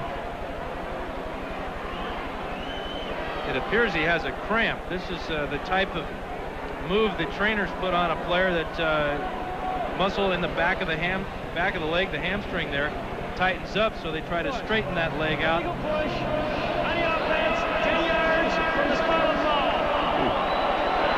they're going to accept this penalty because the foul occurred about 10 yards deep in the backfield. So this penalty, uh, when you add the 10 yards because of the penalty, adds up to about a 20-yard penalty. Yep, from the 40 of Alabama back to the Buffalo 40. Sam Shade is in to replace McMillan, who is still down on the field. Colorado will have third and 25 coming up. The one thing about McCartney and his offense is Back in 1985 at Colorado, he brought in the bone, the wishbone formation. Then he changed it to the I-bone in 89. And now he's going to this uh, multiple formation where he'll use uh, different sets, uh, more like a pro style of offense. And he wants to get a jump start, a head start on 1992 season. He figures with the 10 days of practice he's had leading up to this game, when he's got spring practice, then fall double days, uh, when he heads into that first game next year, he's going to have this offense well tuned. Uh, he will certainly have a lot of kinks to work out of it uh, at halftime. But one thing he told us, he's going to stick with it. This is the look that uh, Colorado Buffalo football will have in the 90s. Sam Shade is in. Yeah, the first uh, part of the McCartney regime at Colorado, they passed it a lot, but he had two win, a two-win season, four and seven season, a one and ten year. That's when he made the change. And look at Hagan now showing some arm strength. Passes out of bounds. Darnell Brooks, a backup tailback, was going up against Sam Shade, who had just entered the game. A tremendous effort down to the sidelines by Brooks. Yeah, look at him concentrate on that ball. And if he could have taken one more step, he would have had a huge gain for Colorado. Chance for another look at David Palmer before the half. We have one minute, six seconds to go before the intermission. Bama leads it by one, 10 to 9. And Alabama has all three timeouts. Palmer accounted for Alabama's touchdown. If you just joined us, a 52-yard punt return in the first quarter.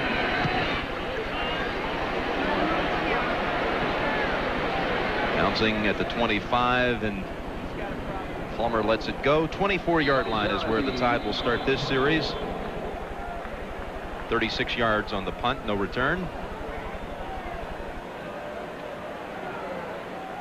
I think Alabama is still smarting from their performance in last year's Fiesta Bowl against Louisville. They were blown out by the Cardinals in that game, and many of the players mentioned to us this week that that's been in the back of their mind. They want to make up for that sad performance last January 1.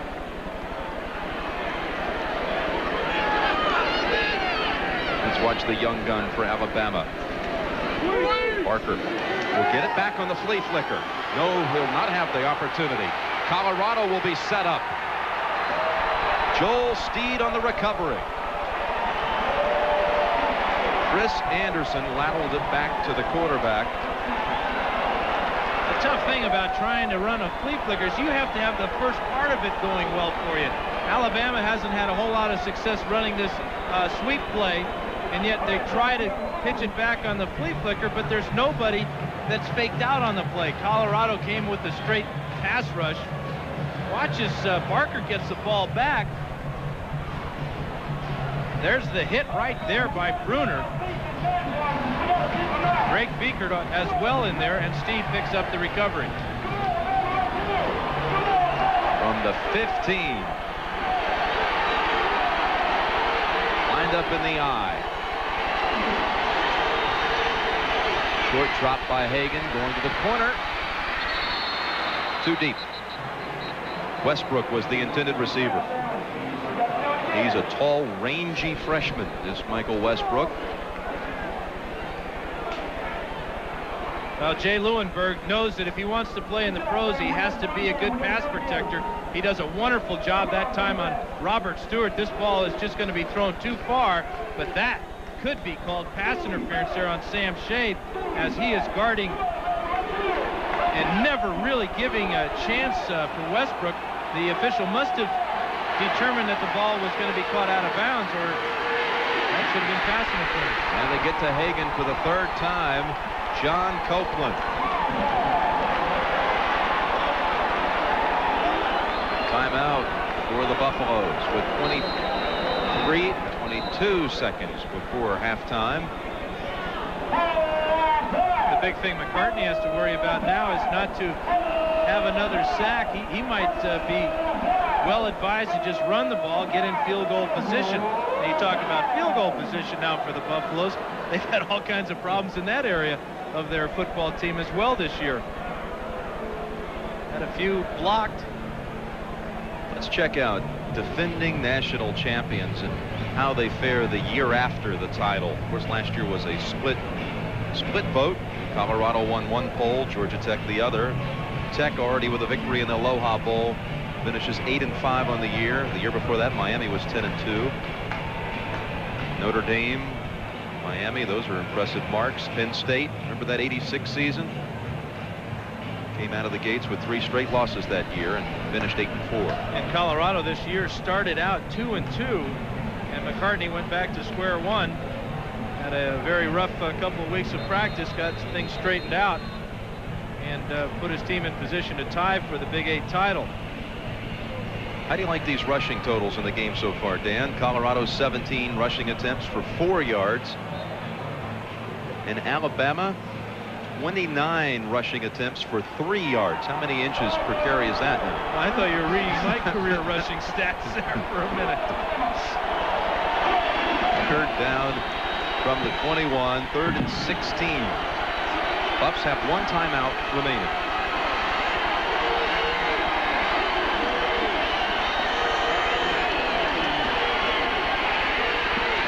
Quarterback draw for Hagan.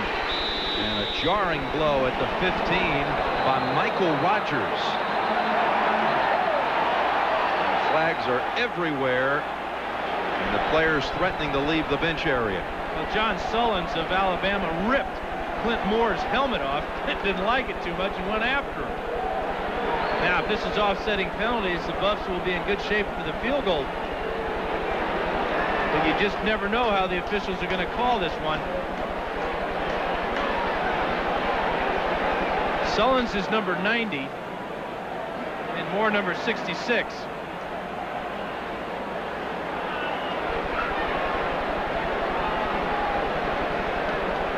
There's the action right there as Hagan is going to take a big lick here, but it's on the left side of the screen here. Sullins just pulls on the face mask and rips it off the head of Clint Moore.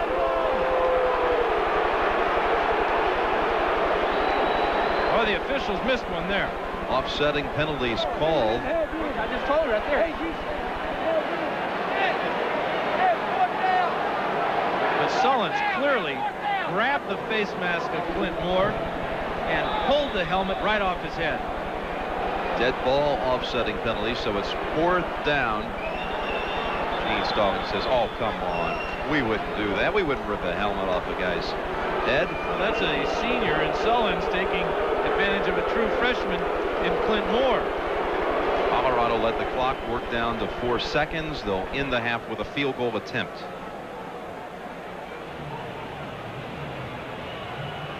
Jim Harper has had seven kicks blocked in his career. Very low trajectory. This season, Harper was 8 for 13. This will be a 33-yard attempt that could put the Buffs ahead at halftime. And you know, with having seven block kicks in his career, it's amazing he has a career. That's true. Here's a guy who has feasted on blocked field goals this season. In one stretch, three consecutive games for Antonio London. He got Tennessee, he got Mississippi State, and he got LSU. Three in a row. Colorado's made it exciting out of field goal formation this year. Remember the fake that they pulled off against Oklahoma State to win that game at the end? Robbie James, who threw the touchdown in that game to Christian Fauria, is the holder. And Alabama has called timeout to uh, make Mr. Jim Harper think about this field goal. This is the type of action you see at the end of ball games. Tell him be ready for the fake. He ain't gonna be able to block two of those. Be ready for the fake. Famous last words. You make sure the secondary don't doesn't throw no damn fake. Stay on the line.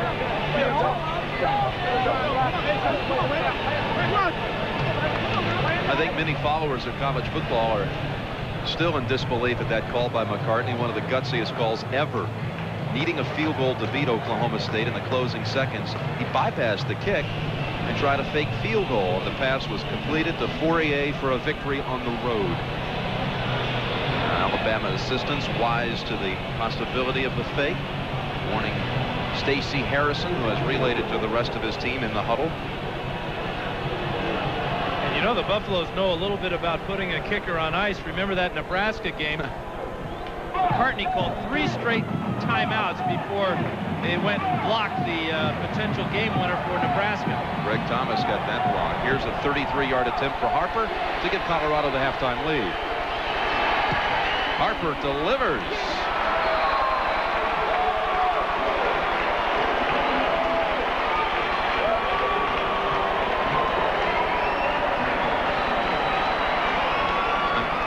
That's the end of the first half with the score. Colorado 12, Alabama 10. CBS Sports coverage of the Blockbuster Bowl will continue after this message and a word from your local station.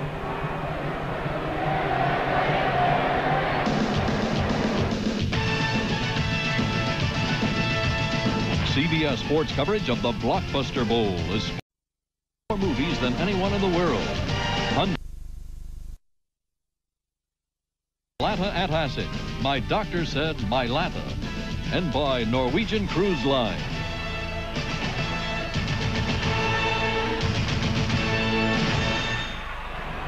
Colorado leading, although they managed only one first down in the first half. Let's get the word now from Coach Bill McCartney visiting with our Jim Gray. Bill, you guys have the lead, so you have to feel fortunate, but you've installed a new offense tonight that's accumulated only 31 yards and one first down. Will you stick with it here in the second Yeah, half, or will we're- you change? We're going to stick with what we're doing. Uh, it's tough to do it in a short time, but this will help us. We'll go into spring football. We'll keep working on it, and then we'll go into the fall, and uh, we'll be better. We'll have trouble moving on them with the, whatever we were going to do. So we decided to go ahead and make the change now. Quite a test for a ball. Good luck in the second half. Thank you. Well, Dan, he's committed to it, as you said, taking it into the 90s, his offense, and it all starts tonight. And it all started with Ralphie.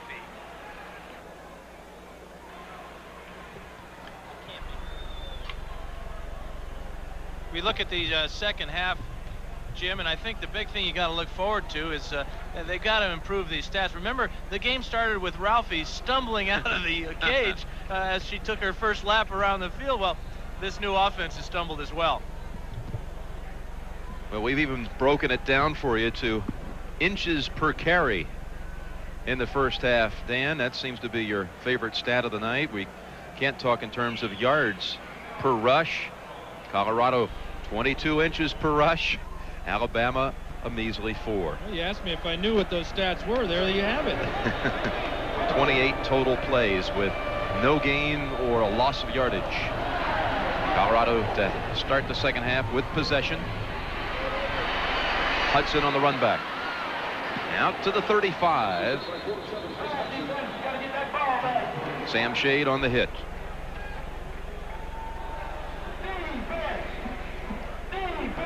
See what type of adjustments the Buffaloes have made for their pass protection. Hagan just completing one pass in that first half. Got two completed, actually. But he's been under all types of pressure from that Alabama front. Two out of 12 for Hagan in that first half. Mark McMillan is in the secondary for Alabama. He was hurt just before the half. Here's Brooks, backup tailback, his first rush, and he'll lose yardage. 29 plays in the game now for no gain or less. Curry and Copeland. Curry also returning to the Alabama lineup. They're being helped off the field at one time. We should uh, point out for Colorado, they lost their offensive coordinator between the last game and the preparation for this bowl game. Gary Barnett, offensive coordinator, is named the head coach at Northwestern. Second down pass play. Hagan way out of bounds. And ooh, one assistant really paid for it.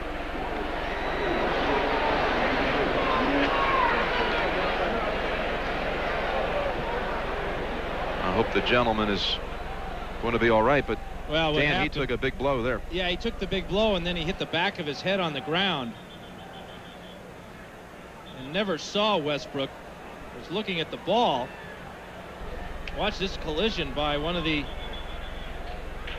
Alabama assistant coaches here on the sidelines trying to get out of the way. But watch what happens after the hit. That Oh, really boy. smarts. Mm. My goodness.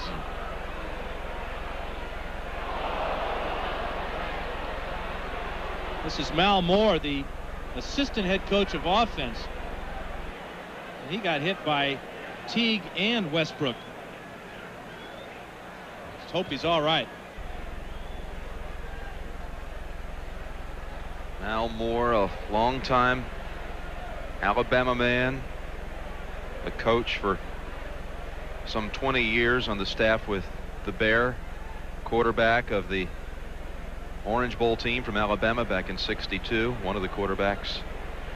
Gene Stallings brought him onto the staff as soon as he was named as the coach two years ago.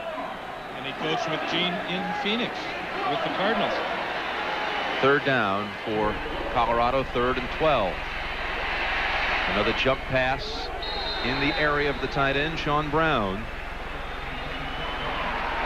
And I'm not sure that Hagan means to jump when he throws this ball, but you got to remember he's only about five foot ten.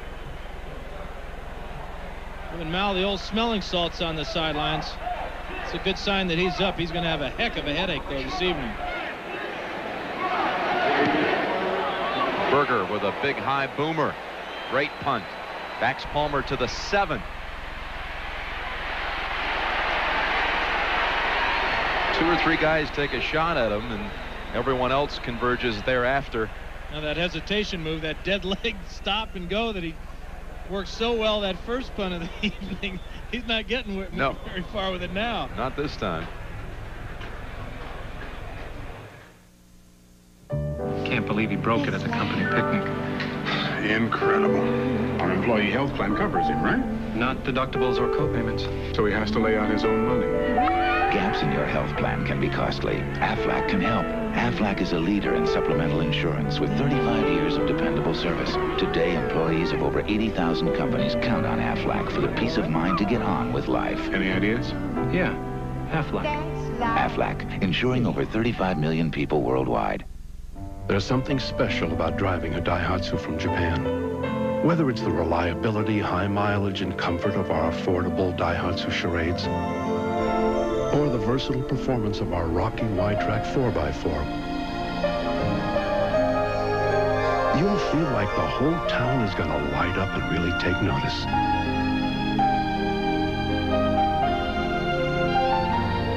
It's how we make them. Daihatsu. Where do you go for the most frightening movies on video? The most sports videos? The most action and adventure? Comedy? Just take off for Blockbuster Video and take home whatever you want. Because we have more movies than anyone in the world. Or anywhere else.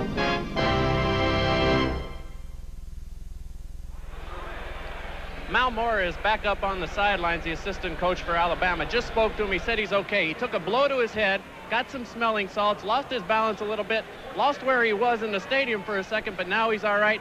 Says he's going to be back coaching. Let's go back upstairs to Jim.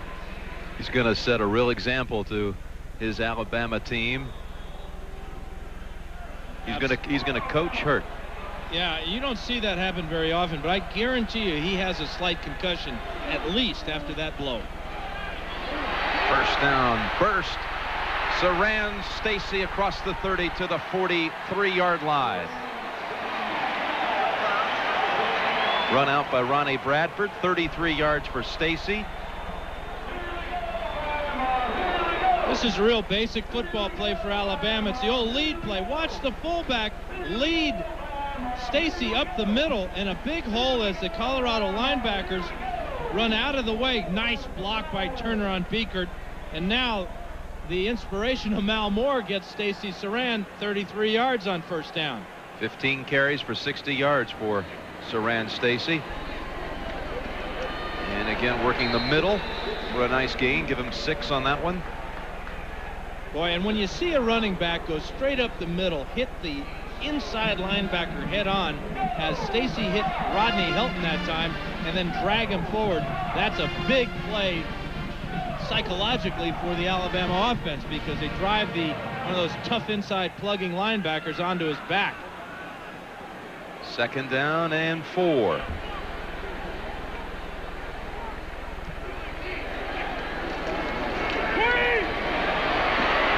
Stacy, first down inside of the 40.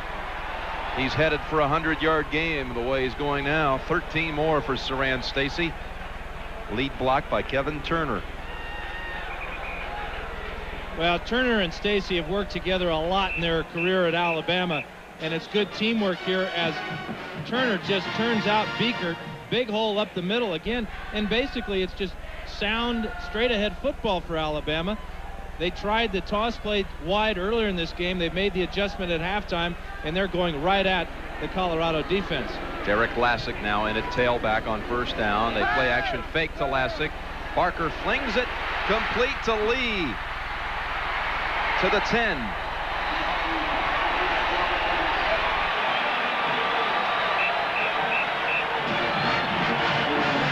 When you run the ball well, the next thing you want to do is to come with a little play action pass.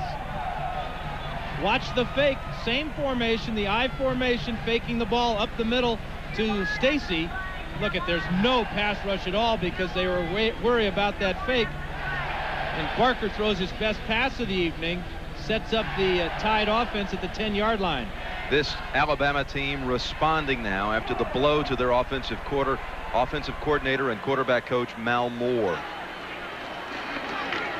Best drive of the night and first down run for three is Stacy.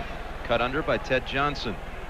You know, you talked about Barker looking sharp on that throw. He is six out of nine for 87 yards. Mike Hankwitz, I'm not sure he expected the freshman slinger on the other side to be looking this good.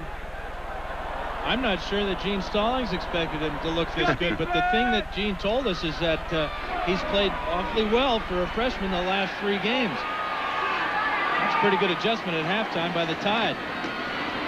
Siran Stacy met by his numeral counterpart, 27, Greg Thomas.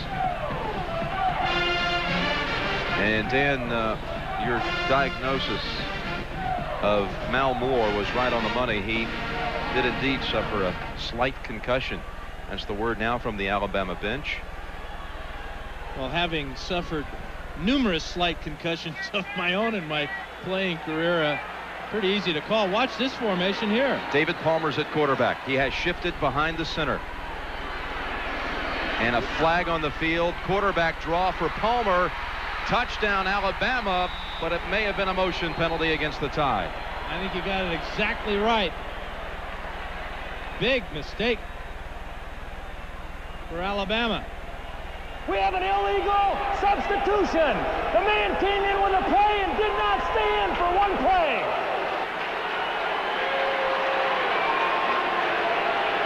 What happened there is uh, one of the messengers for Gene Stallings went in, gave the play in the huddle, and then left the huddle, came off to the sidelines. That's illegal, and that really ticked off our official.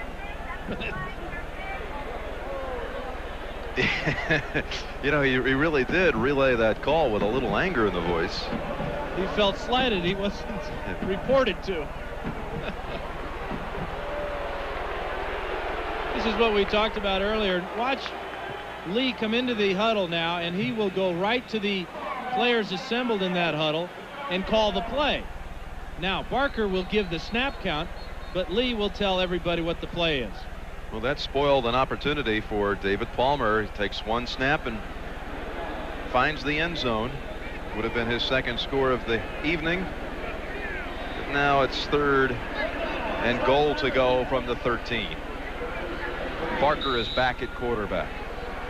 Barker was in the uh, formation that time as a wide receiver as he and Palmer switched positions. Palmer is out of the game. Slot formation left. Third and goal.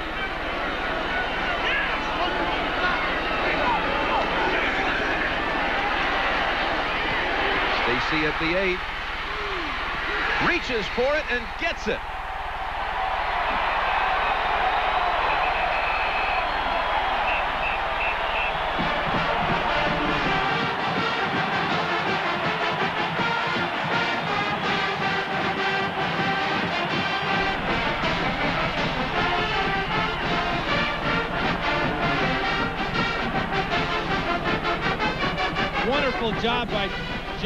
Reading the blitz of Colorado, going to the open receiver. There's nobody covering Siran Stacy as he grabs this ball, and now the outstanding effort to reach across the goal line for the touchdown. They're going for two. He was able to fight off the tackle attempt by Deon Figures.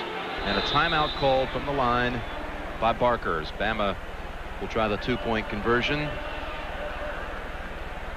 Deon Figures should have had him at the three. But Stacy, a great play here. Yeah, and a great drive for Stacy. Five rushes for 55 yards, and this one reception of 13 yards and six inches for the touchdown. That's uh, Stacy's first touchdown reception of the year. Couldn't have come at a better time.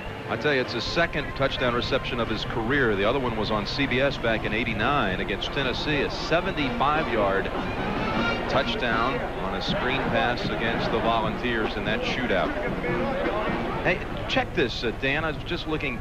Was Siran's left foot out of bounds first. Well, this is what I love about college football is we don't have any instant replay review by anybody sitting upstairs. Well, That's a touchdown whether yep. he stepped out or his knee went down or he didn't reach far enough. I love it. You came to Joe Robbie and you were looking for the replay booth. yeah, it was right there with Ralphie in the cage. Here we go, here we go.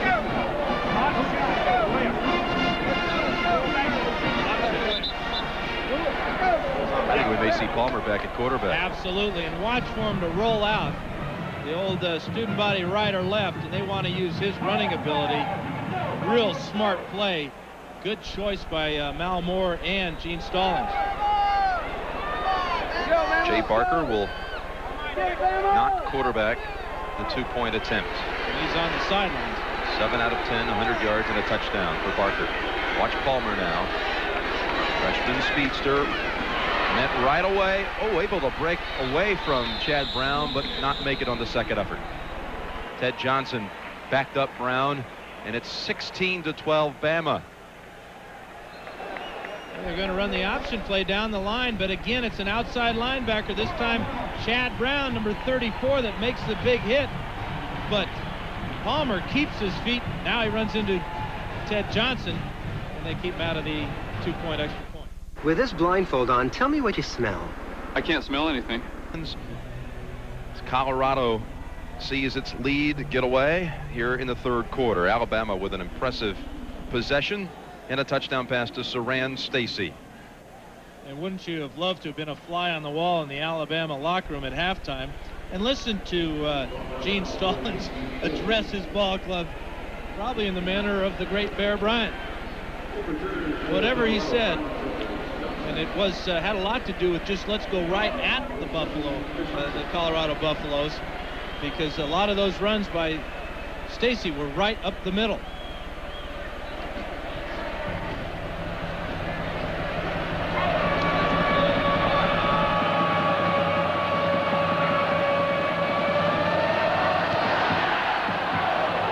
Cole to Johnson from the five.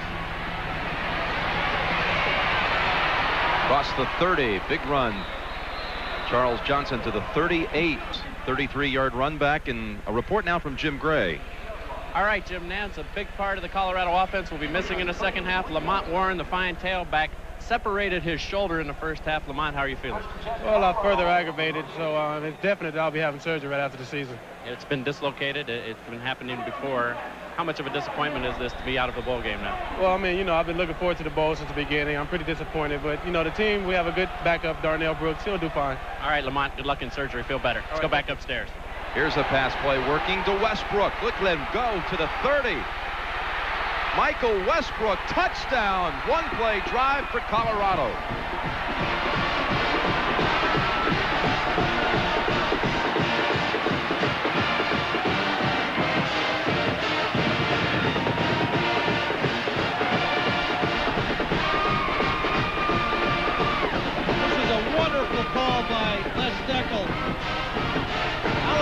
Been putting a lot of pressure on Hagan. They go with the wide receiver screen. They let the Tide defensive line come in. He hits Westbrook over the middle, and the freshman goes the distance for Colorado. McCartney looked up to the scoreboard oh, as though he was contemplating uh, and adding up the figures. Should I go for a two? But the smart play here is the single point, and they get it. Three-point lead now for the Buffaloes. Michael Westbrook, freshman from Detroit, set a freshman receiving touchdown mark this year at Colorado. He scores at the bowl as well. This is the new release of the latest Hollywood. History. It's the longest play from scrimmage in Colorado's 16 bowl appearances. 62-yard touchdown catch and run to quickly regain the lead. And Westbrook is the key to this new offense because of his versatility. He can play a wing back or a wide receiver, and he has a lot of speed. So McCartney's offense uh, works a little bit better here in the second half. 1916 Buffaloes with 10.36 to go in the third quarter. David Palmer running it back from the three.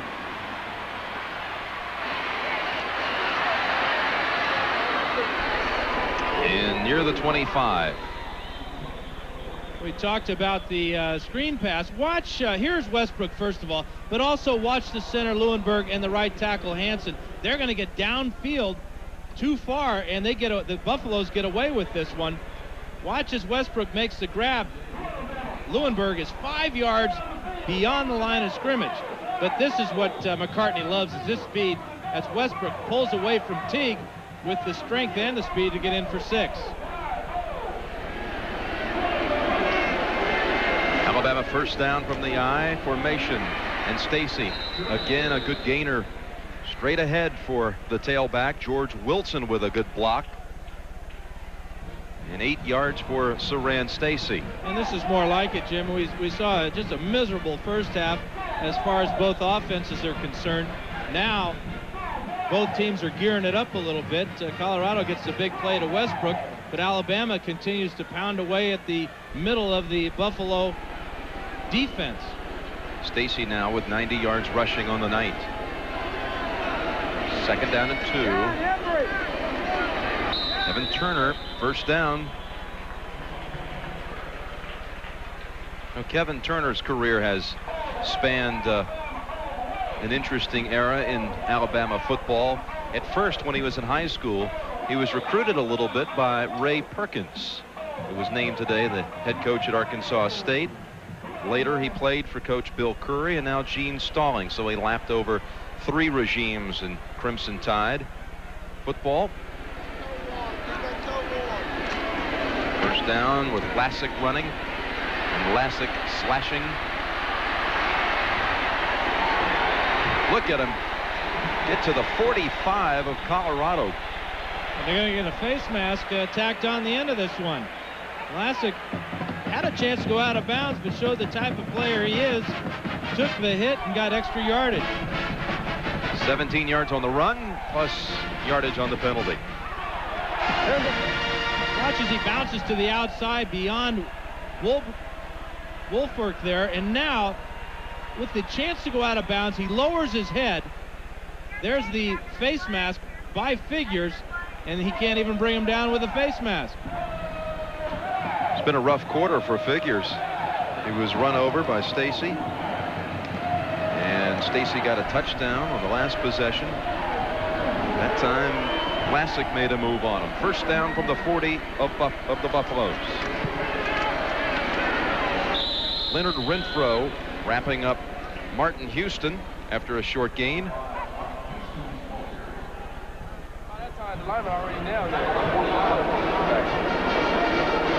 Yeah, yeah, I'm right here. You know you're going to hear from your coach when you let a long pass play We don't want anybody filming in on our board. go against you, and they're trying to figure out how to defense that uh, screen pass. But what they ought to be doing is talking to the officials and saying, hey, look, check out those offensive linemen down the field. Another timeout called by Alabama. The Tide left with one. Right, this is a close game, just a three-point lead for Colorado. You know that Alabama would love to have those timeouts at the end of this one.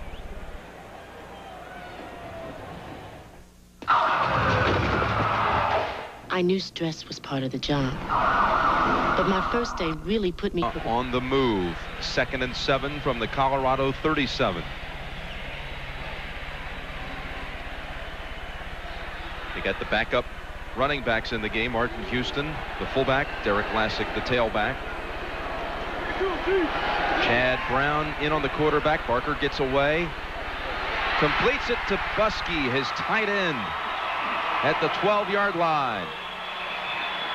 Mark it at the 14, actually. A 23-yard pass play. And Barker really shows a lot of strength here as he pulls away from Brown on the outside here and gives his receiver a chance to make the grab. The defender had his back to this pass. As you can see the linebacker there. Actually, it's a safety, Eric Hamilton. He never saw this pass. It was underthrown, but Busky saw it all the way. Stacy hit first by Chad Brown. Did you see Stacy on that play? That was designed to go outside, but he knows he hasn't had a whole lot of success going out there. All his yards have been right up the middle.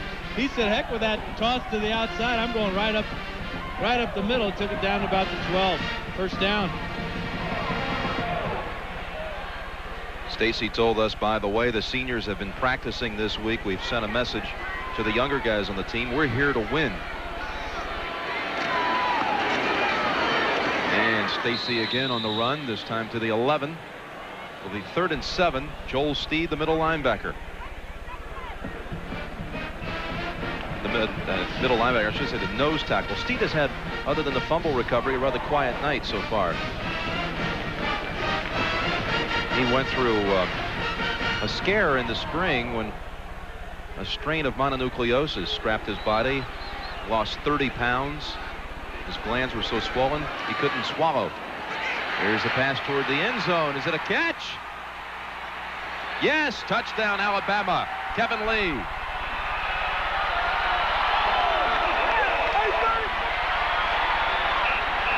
He'll take some turf home with him you know he doesn't want anybody to touch it. Wonderful catch and a perfect throw by Barker as he led him perfectly. And the officials were right on top of it.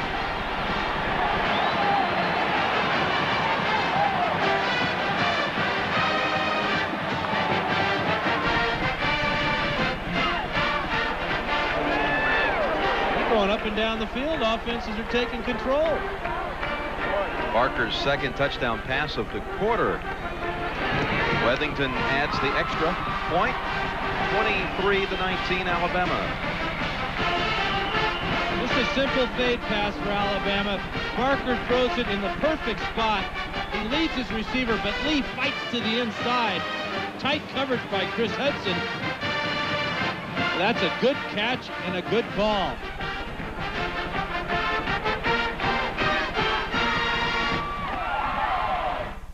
And shoulders from my Leading 23 to 19. It's really the exact opposite of what we saw in the first half, Dan. You obviously have to think that both coaches made some pretty good adjustments in that first half at, at the halftime in the locker rooms, but you also wonder about the defenses. If they think that uh, they were rolling so well in that first half, they're kind of taking the second half off. The key for Alabama in that last drive was the play of their quarterback, Barker, he hit four for four for 75 yards and the touchdown. For those just joining us, it, it still stands as one first down for Colorado in this entire game. Yet the Buffaloes have 19 points. Ooh, a pooch kick. Fielded by Colorado with a fair catch. Sean Embry at the 36. Here's the scoring so far in this game. David Palmer started it with a 52-yard punt return for a touchdown, his fourth of the year. Phillips with a one-yard plunge to tie it. A safety forced by Johnson and Diet. Then Wethington with a field goal for Bama to lead by one just before the half, last play of the half. Harper from 33. In the third quarter, Stacy on a touchdown catch and run. They missed the two-point try. Westbrook, a one-play drive, 62 yards, and Bama just coming back a moment ago to Lee for a 12-yard score. And here Colorado again with a play for no gain. Darnell Brooks on the run. Antonio London on the hit. Actually a loss of three. It's going to be very tough for Colorado to mount any type of running attack now that Lamont Warren is on the sidelines with that separated shoulder. Trying to play with a brace on that shoulder. Knew he was going to have surgery after this game but uh, it didn't hold up. Second down, 13. Hagan with some time. And look at this to Charles Johnson. He should have had it at the 25.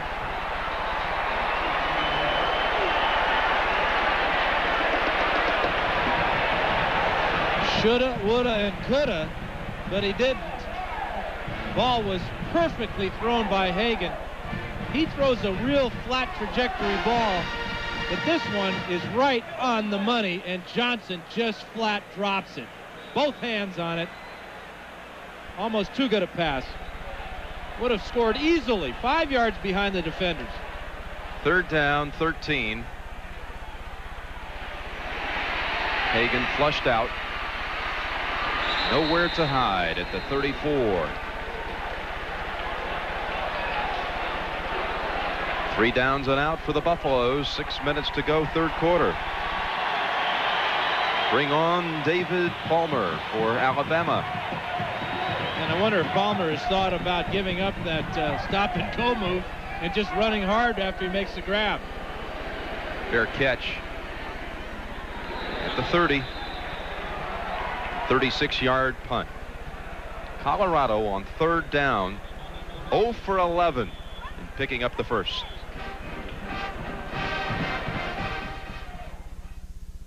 Where do you go for the most frightening movies on video? The most sports... Tries for touchdowns, and they're back on the field again, the offensive unit. That offensive line of the Tide has really uh, provided good pass protection for Barker here in the second half. From the 30, Stacy and Turner in the backfield. Play action fake to Stacy. Barker across the middle, right into the hands of Colorado's Ronnie Bradford. And he runs it back to the Alabama 43. Intended for Prince Wimbley. Barker makes a big mistake here. Watch the coverage outside here by Bradford. As the receiver comes down on the post, it's almost as if Bradford is running this pattern. He reads the coverage. Now he's going to cut inside the receiver, go for the ball, and uh, that is a perfect strike to the defender. A big play by Colorado's defense sets up the Buff offense in good shape. Ronnie Bradford he loves these bowl games. He blocked the Notre Dame point after last year. That was the difference in the Orange Bowl. A one point Buffalo victory. Hagan almost got it to Rico Smith.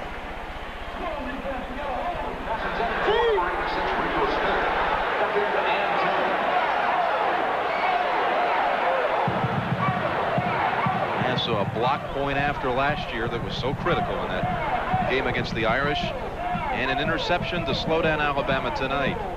Hagan, three out of 17 passing for 83 yards and a touchdown. But in the second half, he did hit that one touchdown to Westbrook, and really, uh, Charles Johnson should have made the grab on the last series of plays. Darnell Brooks is the single back, second down 10. Hagan just looking everywhere. Great coverage downfield by Bama. He ducks under Robert Stewart, gets back to the line of scrimmage. This is what you call a coverage sack. Uh, there's just no place for Hagan to go with this ball. He had all his receivers on medium routes, hook routes, and now nobody breaks to the clear.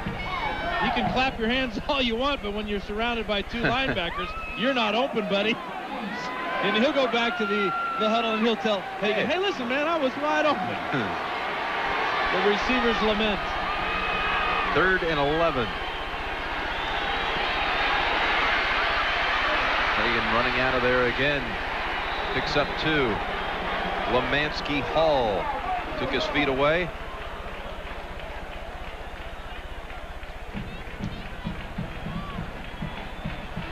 Three downs and out for Colorado. Super job of Alabama's defense stiffening there after the uh, costly turnover that wasn't so costly. Berger angling this one. And I think he didn't cut off enough yardage. Spotted at the 23. Only an 18-yard effort. We've got more bowl action coming up. New Year's Day. CBS and the Cotton Bowl. Hand in hand again. Florida State and Texas A&M this year. Florida State trying to set the Cotton Bowl on fire. Heisman Trophy runner-up Casey Weldon will lead Florida State against the nation's top defense, Texas A&M. Wednesday afternoon, 1.30 on CBS Sports. And you get to work with another old has-been quarterback, huh? Terry Bradshaw will be in the booth. Dan, you'll be preparing for next week's Atlanta-Washington playoff game. Here's Derrick Lassic twisting to the 26. And uh, let's check in with Jim Gray. All right, Jim. You know, these two teams have been here all week. There have been several functions going on. They've had a lot to do. They got tired of seeing each other at all the press conferences and the banquets and so forth. It's like Jay Leeuwenburg told us, we didn't come to party with these guys. We came to beat them. And as you can tell in the field, these guys are tired of socializing. They Jim? have now slipped back in at quarterback David Palmer.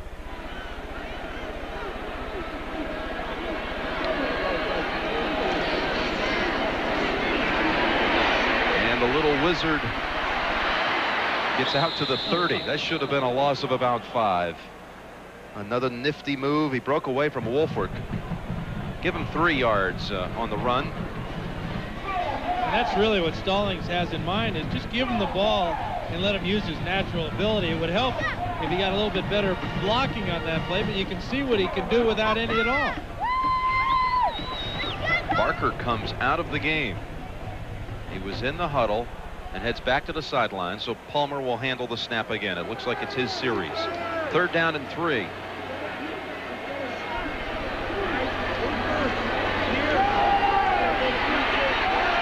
Never a chance.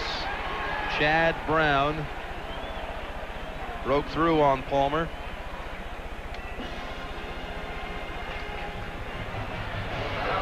He was hit by John Clay also. Well, he's gonna. He wants to throw this ball, but watch when he gets in position to throw it. He looks up, and there's just nothing but white shirts there, close to a face mask there on Biekert. Here's a run back for Colorado. And Hagan was not on the return. It was Rico Smith. 39-yard punt, five-yard return.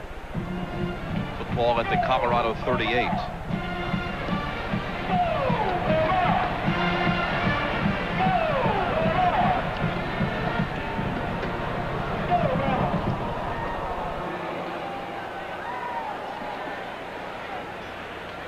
Well, at the end of this game, uh, the Blockbuster folks will select a player of the game, and we'll let you know late in the fourth quarter.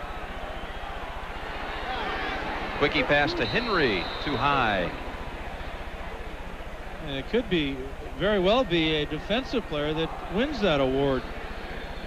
Especially if you look at if you split it in half and give it uh, half to the first half of the game and offensive player maybe in the second half here. There's Les Steckel calling the plays for Colorado. Looks like the coach has got to work some things out as well. It's going to be a busy offseason. Implementing the new offense. Flags on the field as soon as the snap was handled by Hagan. See number 10 in the background. He's a possible quarterback in the future here. Kordell Stewart from Marrero, Louisiana. The thing that coaches uh, obviously like about Stewart is he's six foot two and he's got a 4-4 40 time. And uh, he makes plays in practice a la Randall Cunningham and Major Harris. Second down, 15. This will get very little yardage back. Mark Henry tackled right away by George Teague. I'd say if you had an opportunity to have a Randall Cunningham or even a Major Harris type college quarterback, your program would be in pretty good shape. Well, Stewart will uh, compete with Vance Joseph for the starting job uh, come spring training. Both of the quarterbacks backing up Hagan, Joseph and Stewart, come from the same town, the aforementioned Marrero, Louisiana. Hagan on a line to Rico Smith and a first down at the 50.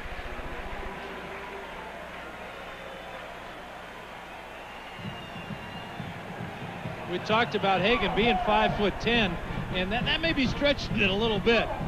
But it, this is his uh, strong suit, is throwing the deep out. He does have a strong arm, and Smith gives him a nice cushion as he drives the defensive back deep and makes the catch on the sidelines. First third down conversion in 13 tries. And Hagan, no time to get that one released. Michael Rogers, freshman with a sack, the fifth Alabama sack of the night.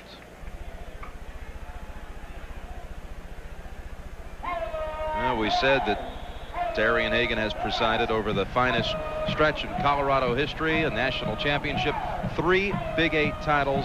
He never lost a Big Eight game as a starter, 18-0-1, and he leaves with Colorado's total offense mark. Second and 14. Coming back to get it is Westbrook in Alabama territory at the 45. 30 seconds remaining in the third quarter. And that's as tough a throw as a quarterback is asked to make. Running to your left as a right-handed quarterback and even running away from the line of scrimmage. He threw a nice pass and Westbrook helped him out a, a great deal by coming back to the ball. Colorado just used a timeout, leaving them with two. You know, Hagan told us that some point tonight around 1 o'clock, and uh, he forecasts quite accurately the, the, the finish time of this game. He said somewhere around 1 o'clock tonight, I'll, I'll have my last pass in, in an organized football game. He's going to play in the Japan Bowl, but he's not going to be used as a quarterback there, Dan. Uh, McCartney plans on showcasing his talents there as well. Use him as a running back, as a receiver a little bit, and of course he'll do some kick returning. Uh, Hagan envisions next year as uh, being a utility player for an NFL team, much in the mold of Brian Mitchell, the Washington Redskins, a former option quarterback that has turned into a fantastic kick returner for the Skins. But this is a smart move by McCartney. He has not been very successful with his third down conversions this evening. Just one out of 13. So this one he knows is a big one. He called the whole team over there to make sure they know what exactly to do. Third and five. On Alabama turf. From the 45. Three receivers right. Hagan rolling now, planting, and a man open. The pass underthrow. Almost a second interception of the night for Mark McMillan. There is a flag down in the offensive backfield.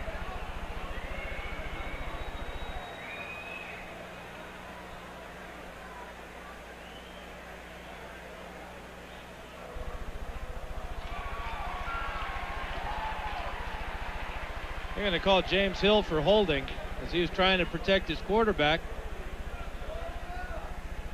It'll be interesting to see if Stallings uh, accepts this penalty because it happened deep in the backfield, similar to a situation earlier in the game.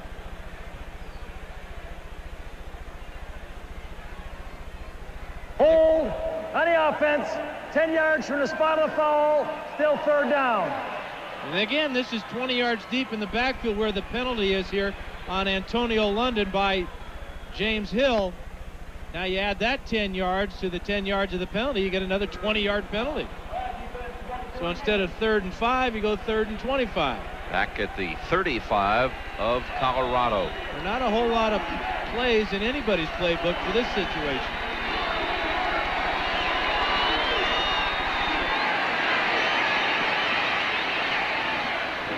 That pass deflected. Antonio London got a hand on it. Well, London shows his versatility, rushing the passer on one play and then dropping back in coverage on the very next one, making plays at both ends.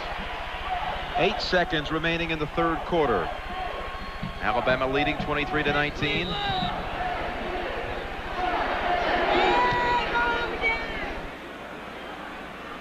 High kick by Berger forces the fair catch. And that closes out the third quarter. Three touchdowns in the period. The score, Alabama 23, Colorado 19.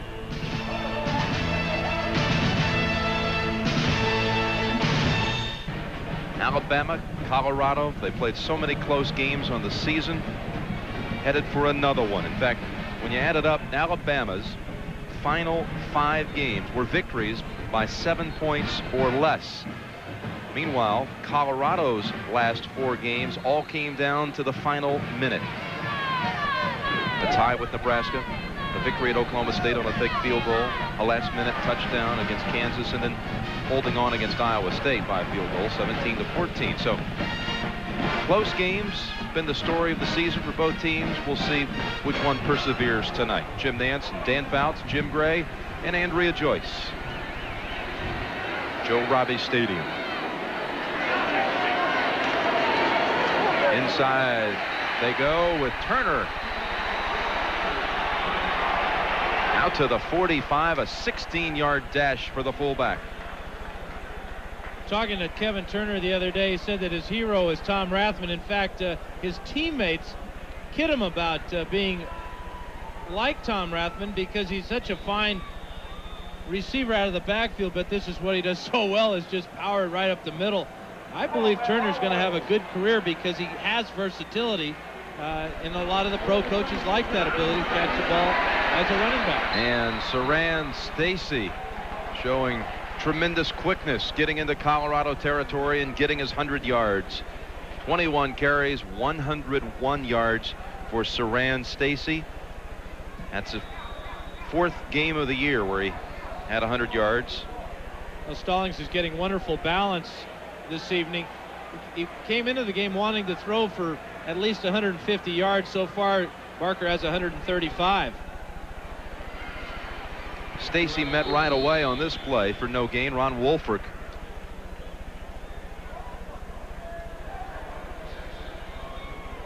Jay Leeuwenburg. Joy to visit with him this week. Danny has a good outlook on the not only football but life. He's already graduated. Graduated in May with a major in English. Like to give pro football a try, and I've got to think he has a future there. But he says, "Hey, I'm, you know, I'm not going to be that heartbroken when that career ends." Well, he will play, play pro ball. I guarantee you that. Third and one. Turner easily getting the first. Chris Hudson got a hold of him at the 41. A lot of people criticize Stallings' record at 10 and 1, saying they played a weak schedule. But uh, four of the teams that they played are playing in bowl games. unless they beat Auburn 13-6. So uh, the reasons why Stallings said is that because they've stopped the run so far tonight, they've only allowed four yards rushing to Colorado. First down. Stacy. He's going to throw it. No interference intended for Prince Wimbley. Deon Figures on the coverage. Stacy threw four passes this season. Two of them went for touchdowns. And this is really a questionable call by the officials. It appeared that Figures, there he pushes off on Wimbley right there, and now he just screens him off. Actually, that's a fine play by Figures, aside from the first push that he got away with. Good job of screening the receiver from the ball. Second and 10, 13 minutes remaining in the game. Palmer at quarterback. Biekert in on him. Here come the rest of the Buffs, but Palmer breaks out of the jam. It gets to the 29. They're about to sack him. Instead, Palmer scampers for 12 yards. This is not how you draw it up, Jim. Believe me, you, you don't let four guys come in on your quarterback and expect him to get away from him, unless maybe you're David Palmer. Fantastic play of not only avoiding the sack, but getting down the field and almost getting all the way to the end zone. Barker returns to quarterback. And Stacy to the 25. Give him four on that one. You know, Stacy was talking to us about uh, the great, well, you see his total offense mark tonight. He caught a pass for a touchdown, but how he likes to watch the highlight films of the former great running backs, the Hall of Famers like Gale Sayers, Walter Payton. Earl Campbell, he just loves to watch them because uh, he feels that someday he can do the same thing and that someday he'll be called upon. So tonight he's really carrying the load like all great running backs have to do. This time to the 22. He said watching uh, the NFL films uh, when they when they bring back the football legends, it's not so much the highlights to pick up on the moves. It's it's more what people say about the players that he's interested in. And he says you always find out that the other players, the colleagues of those Hall of Famers will tell you, how these guys gave everything they had. Sacrifice and hard work being the common thread. Exactly. Palmer back at quarterback. And to the 20-yard line.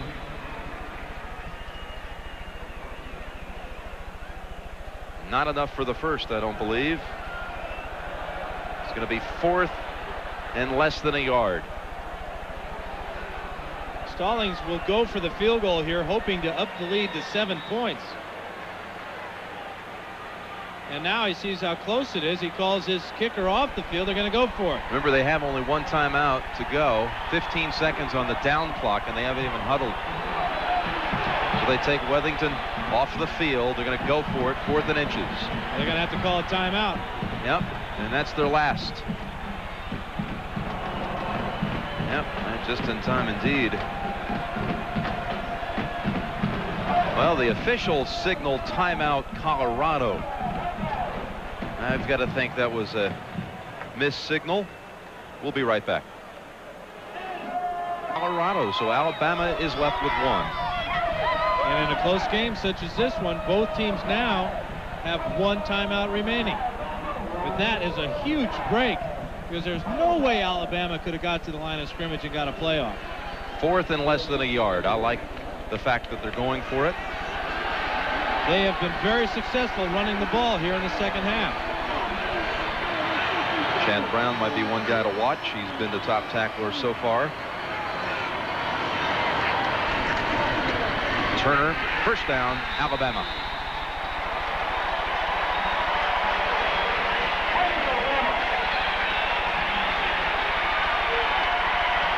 You compared him to Tom Rathman, talked about how the team has compared him to Rathman. Two years ago, Turner caught 48 passes out of the backfield. That's a receiving record for running backs in Alabama. Well, here's the play right here. He's going to run right by Steed and pick up the first down. Steed misses a tackle in the backfield. From the 18, Stacy out of the backfield in motion. It's Turner again. This time drop after a one-yard gain. You remember asking Turner, how did you guys go 2 and 10 and 1 this year? How did this team do it with all the young players? You're one of the few seniors. He said we went 10 and 1 because we played with a lot of guts. And the senior leadership of your two running backs, uh, and especially when they're as talented as Stacy and Turner, uh, that's really a key because this is a young offensive line. So far, Turner's having as, as good a night as his partner is with uh, 40 yards on just seven rushes. And a lot of them, again, have been right up the middle against the heart of that Colorado defense. About six yards of a carry, which is right on his season average. Second down and nine. Barker out to the right side. Stacy. And it's Thomas with the tackle, but not until Stacy picks up the Alabama first. 10 yards to Siran Stacy. Well, we talked about this game being a showcase for Darian Hagan. Well, Gene Stallings is showcasing Stacy's ability not only as a runner but also as a pass receiver. That time he's motioned him out of the backfield. One-on-one -on -one coverage against Greg Thomas, a strong safety, and that was no match as Stacy picks up the first down. David Palmer in a slot to the right now coming to the near side on first and goal. Stacy on the toss. He switches directions and takes it to the right side for about a yard. Figures came up to make a good tackle this time.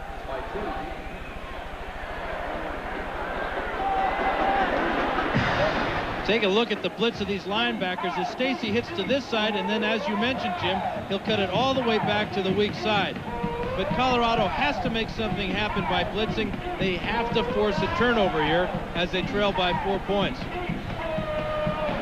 Curtis Brown and David Palmer to the right second down and goal from the six Evan Turner will force a third and goal situation Chad Brown with the first hit. This drive has taken over six minutes now, Dan. We have 8.40 remaining in the game. 23 to 19, Alabama. And we've seen three drives now in the second half for Alabama. One that was dominated by Stacy, one that was dominated by the quarterback Barker, and now this one, Kevin Turner has been the main figure. Third and goal. Palmer to the bottom of your screen. They're looking for him. Looking for David Palmer in the corner. Oh, what a catch. Touchdown, Alabama.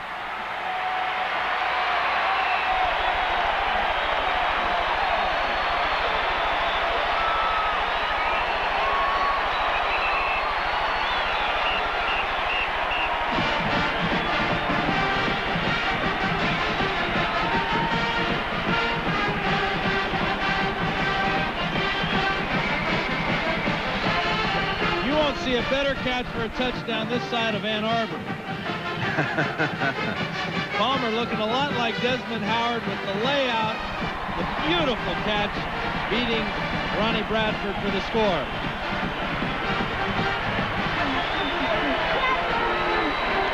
Wethington with the extra point. Alabama by 11. This kid is sensational. College football has a star for the next three years. This is as good as it gets right here. The concentration, there's the right foot, touchdown. He keeps catching like that, he might have a Heisman Trophy. Freshman David Palmer, second touchdown of the night.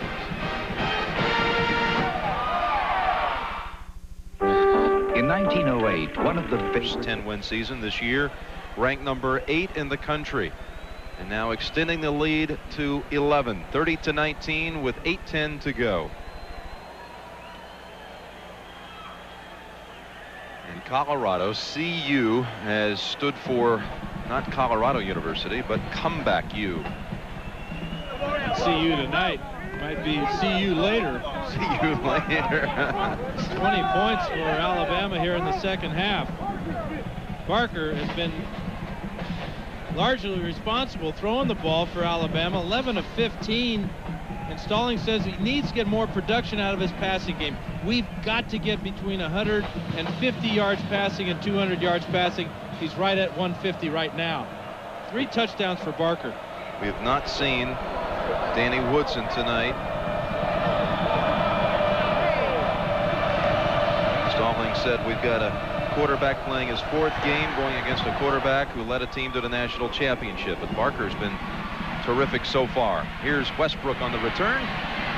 And count him down at the 34. Take us through that touchdown again, Dan. It's just a fade pattern. Here is uh, Palmer and Bradford. But all the way to the outside here, look at all the room that Palmer has to work one-on-one. -on -one, and then it's a perfect throw and beautiful athletic ability for the score. That catch is just as good as you'll ever see at any level. I think your comparison to Desmond Howard was quite nice because Howard made a lot of catches like that this year as well. Here's Hill in the open at midfield. And don't count out this bunch. Colorado to the 36 of Alabama. Well, they are down by 12 points, Jim, with 7 minutes and 50 seconds to go. But they only have one timeout to use.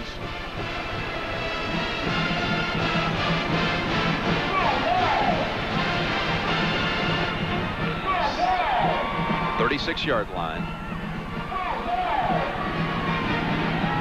McCartney unveiling the offense of the future in Colorado. And trying to get it around to Rico Smith. Oh, what a losing play this will be. Smith back at the 30. The ball is free again. They rule him down at the 30. That is a 34-yard loss. Give or take a few inches. oh, boy, oh. when it's going bad, it goes really bad.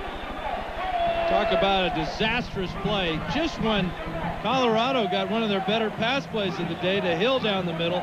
Watch on the reverse. First thing that happens is Smith just drops the ball. Now he's surrounded. Now watch, he's going to try and throw the ball with his left hand. And he's lucky that the official called him down, or that would have been intercepted. or grounding, anything. They could have called a lot of things on that one. Way downfield and almost intercepted by McMillan again.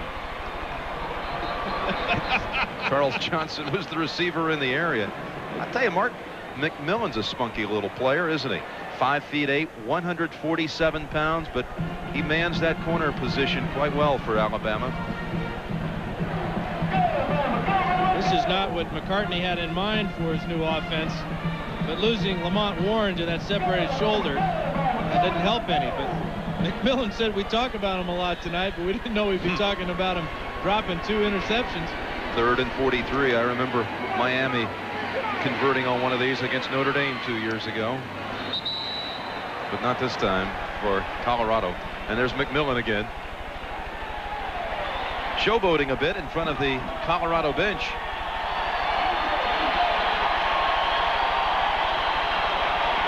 And now he comes over to where his showboating will be more appreciated. That's right. That's what defensive backs and cornerbacks have to be. They have to have that type of personality where they don't care about anything but intercepting passes and making tackles. Now let's see if David Palmer wants to add to the highlight film. Chad Brown adds to his tackle total, which will be quite large when this one's over. I think we're looking at our blockbuster player of the game right there, number two. Yeah, I got that same feeling. Do we get a just a hunch? that, huh? Just a hunch. Well, they haven't come by to take it yet. well, it was in 1926 when a Goodyear blimp first arrived in South Florida, and there's been one here since. Our thanks to the folks with the Spirit of Akron and Goodyear tires for the many overhead views for our telecast tonight. They just delivered our MVP Boy, ballot, tell you, right on cue.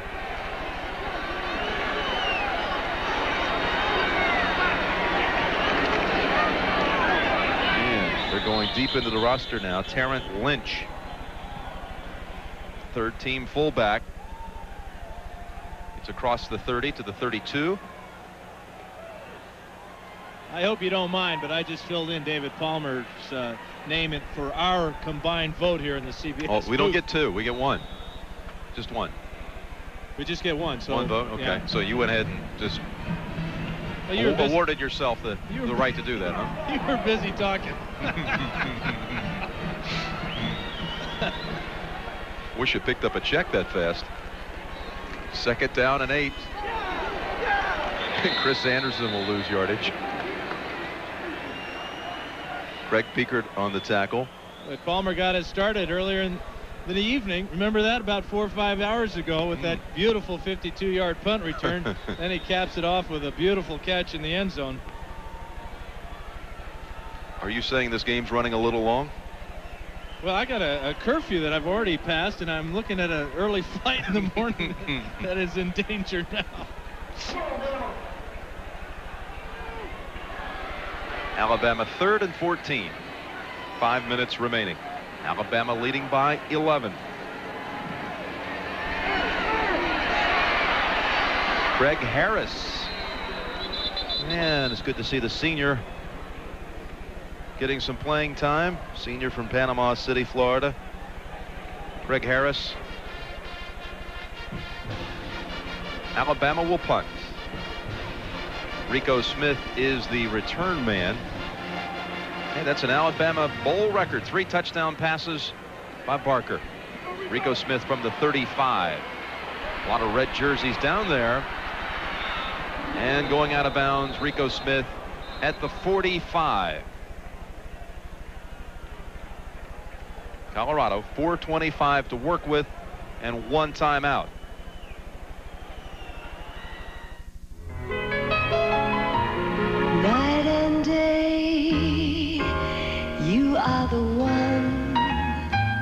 Anyone in the world. Lincoln Mercury and the complete line of 1992 Mercury automobiles. Siemens for leading edge technologies in electronic and electrical engineering depend on Siemens.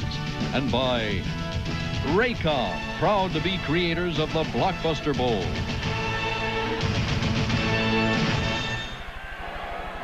Alabama tough in the second half. And let's check Colorado, see if they have one more miraculous victory to pull off under the Darian Hagan era. Doesn't look like it. Antonio London. Celebrating. Doing the worm down there, wasn't it? That's the sixth sack of Hagan, and now no huddle for the Buffaloes. No huddle and virtually no offense tonight. Yeah, no sense to go in a huddle. High stepping away is Hagan, and he zips that one to Henry for the first and down to the 38 of Alabama. 20 yards on that play. I've seen him pull it off too many times, Dan, to count him out. And his teammates uh, have too, obviously, Jim, and they think that uh, his leadership abilities and a winning attitude that anything's possible with Darian Hagan at quarterback. Wide open. Oh, what a catch this time. Charles Johnson, he dropped the bomb earlier in this game, and this one a much tougher opportunity. He takes it. 13-yard line. 25 yards on that pass play. Some catch, wasn't it, Dan? Yeah, and the clock stopped because of the first down. It starts to roll now, so with this pass... This pass goes for a touchdown. Colorado's back within one score. Charles Johnson. And now Colorado will have to go for two.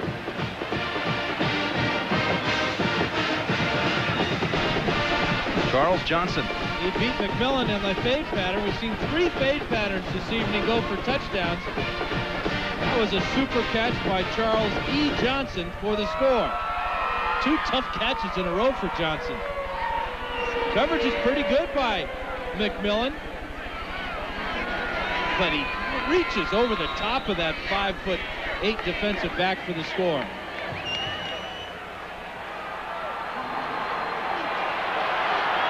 Here's the two-point opportunity to get within a field goal. Play action. And Hagan to the back of the end zone, batted away. Lemanski Hall. That was intended for Darnell Brooks. 30 to 25 is our score with 3.30 to go in the game. Charles Johnson, his second touchdown catch of his career at Colorado. The first catch from a first time he caught a touchdown pass from a quarterback. The other one was a touchdown pass from Lamont Warren on an option play. With one timeout to go, do you kick it away or you kick the onside kick now? I think you got to go for the onside kick right now. You can't afford to uh, give the ball to Alabama and let them run the clock out. You can only stop at one time with your timeouts. So I would expect the onside kick. I'm sure Stallings is as well. Let's get a report now from our man, Jim Gray. Jim? All right, thank you, Jim. You know, Darian Hagan is truly a remarkable individual. He, we all know of his accomplishments on the playing field, but what you don't know is he's from Watts, a section in Los Angeles, and he's going to graduate on time with his class. And we had a chance to talk to him a couple of days ago, and he said of all the things that he's done, he's the most proud that he's going to go out after four years with his degree. Jim? It's a great story. He will graduate. He'll have to take 21 hours the spring semester, but he'll do it. He'll have the the cloth, the canvas come May. And that'll be a heck of an accomplishment taking 21 hours in one term. And the Buffs boot it away. It'll go through the end zone and Bama will have it at its 20-yard line.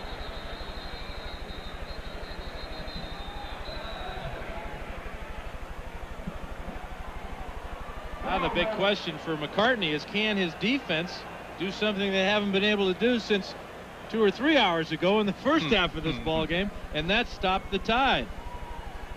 You look at this uh, graphic, and this evening, all three touchdown drives by the Buffaloes have been under one minute. So they've even improved on that statistic.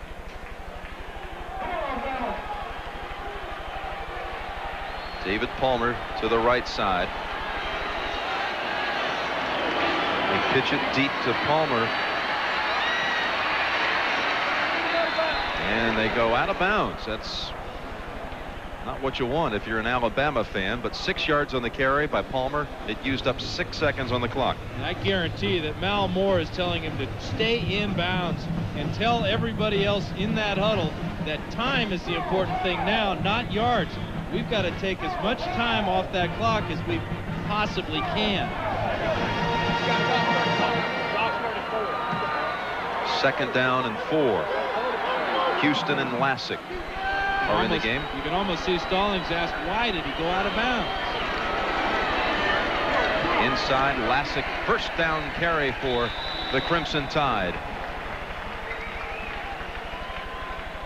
Well, Stallings is showing a lot of uh, confidence in his backup running backs there. He's got Lassic in the game here and Houston. These will be the, uh, the backfield for next year along with Barker, so they're getting a lot of valuable experience in crunch time. Alabama might be one more first down away from closing this one out. Colorado's defense must rise. Must come through here to have a chance for another last minute victory. Looking for a big loss on this play. Lassic is swarmed under at the 27. Chad Brown again another tackle for that Colorado outside linebacker a loss of six. They were all coming on that one.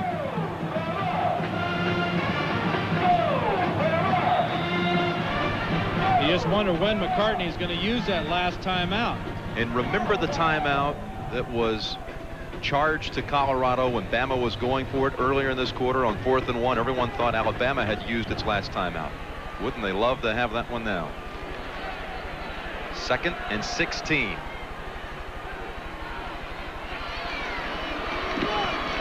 Lassic for a short gain.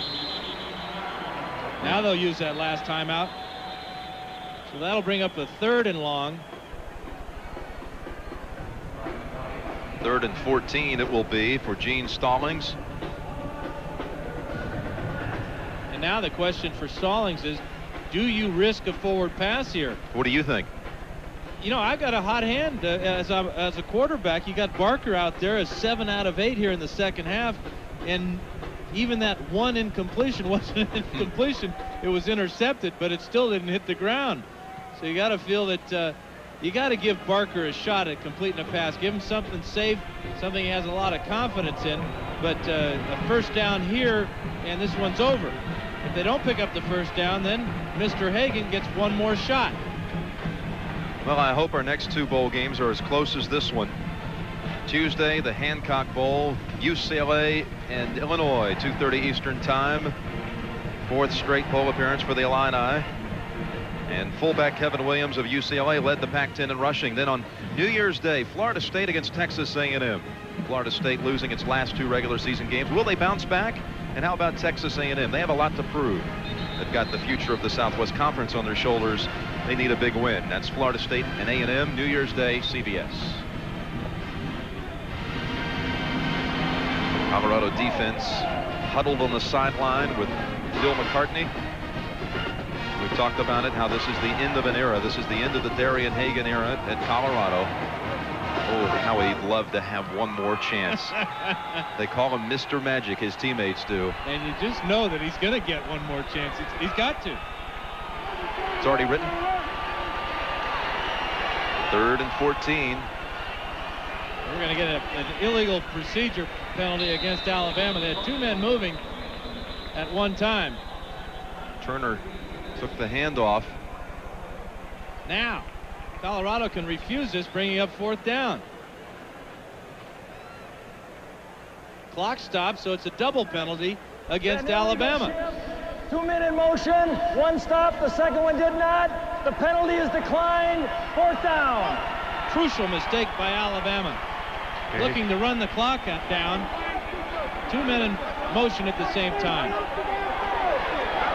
And CU is poised for another comeback. And Darian Hagan has not been returning punts in the second half. He's in there now as the returner. He'll have a chance on this short one by Williamson. Oh, he lets it bounce out of bounds at the 31. He couldn't get there in time. 38 yard punt. Hagan will have to take the Buffaloes 69 yards. And he needs a touchdown, trailing now by five.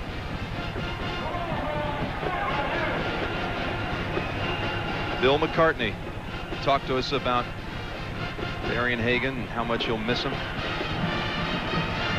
Well, he means so much to the ball club. Uh, so many of the intangible things. Tremendous leader and competitor, and this is a wonderful way to end his uh, Colorado career. Three receivers to the left. Hagan flushed out of the pocket. He'll work the sideline wisely, and they mark it at the 40. And you know he's having fun. Look at the bounce in his step as he goes back to the huddle. This is a contagious feeling that he is now transmitting to his teammates. They all believe that Hagan can get it done. And this man does too.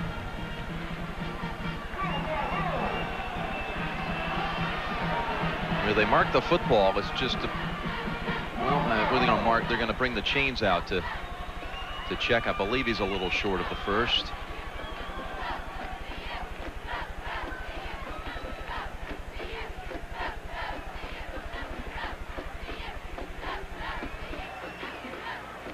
About a foot. Well, this is good that it is short, Jim, because it's second down. They're obviously going to make the first down, but the clock will stop when they do make the first down. A, a good rule in college football, so they can reset the chains, but it gives the offense very valuable seconds at the close of a game. But wouldn't they love to have that one timeout left, though? Mm-hmm. They really saved Alabama in that situation. Fourth down, and Bama may not have beaten the down clock when they started to call for the timeout, but they saw Colorado first. Can't worry about it now. No timeouts. Second and inches. That'll pick up the first, and they'll go into Alabama territory at the 43. Hagan 18 yards on that dash. And you see the clock stops as they move the chains. Hagan calling audibles at the line of scrimmage. So valuable to have a senior leader such as Hagan in this situation.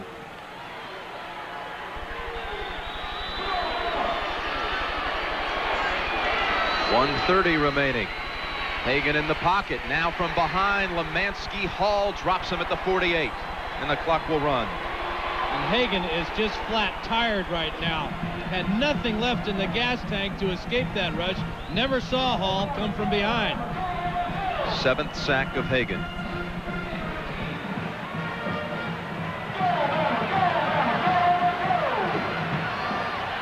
This ball will be snapped with a minute to go. Almost intercepted by London. Third and 15 coming up. Well, hold on a minute. There is a flag on the far side.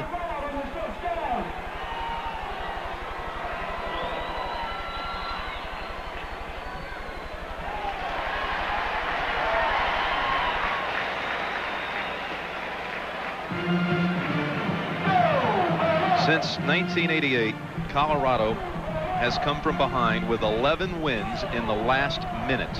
And some of those have been memorable. Six men on the line, on the offense. Penalty is declined. Third down. And they've won in the most unusual of circumstances, including a fifth down play against Missouri a year ago. Hagan was not the quarterback. It was Charles Johnson at the end of that one. Third and 15. He releases it just in time, and the catch made by Brown, breaking off one tackle and getting near the first. He's about a yard shy. John Sullins decked Darian Hagan after he released it. 14 yards. It'll be fourth and one. That was an outstanding play by Brown using that big body of his at 245 pounds. Kept the defender away, reached out, made the grab, and got down close to the first down. Will the dream comeback continue or will it end here on fourth and one? Hagan into the middle. This game is over. Alabama stuffs them on fourth and one. John Copeland and Lemanski Hall.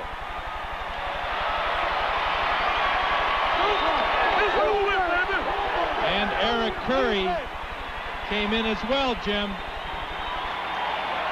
This is the quarterback's dream now. He gets the call from the sidelines. Just fall on it. This baby's over. Big fourth down stop by Alabama. Take a look at it. There is Curry coming off the ball extremely fast. Cut to the inside and just stuffs the ball carrier for the loss. James Hill never had a chance. James Hill, the fullback, trying to plunge for one yard to keep the drive alive. Fantastic anticipation of the snap count by Eric Curry. Barker falls on it. Alabama will end the season 11 and 1. Darian Hagan and the Buffs gave us a thrill at the end. Our players of the game, Siran Stacy. Stacy beating out David Palmer. I guess that my vote was overruled, huh, pal? And Chad Brown shows you how much weight you carry.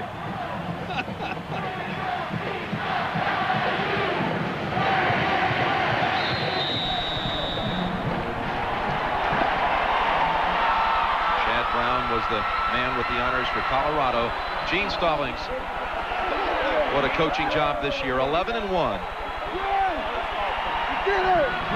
One of the finest option operators in the history of college football sees his college career come to a close in another thriller.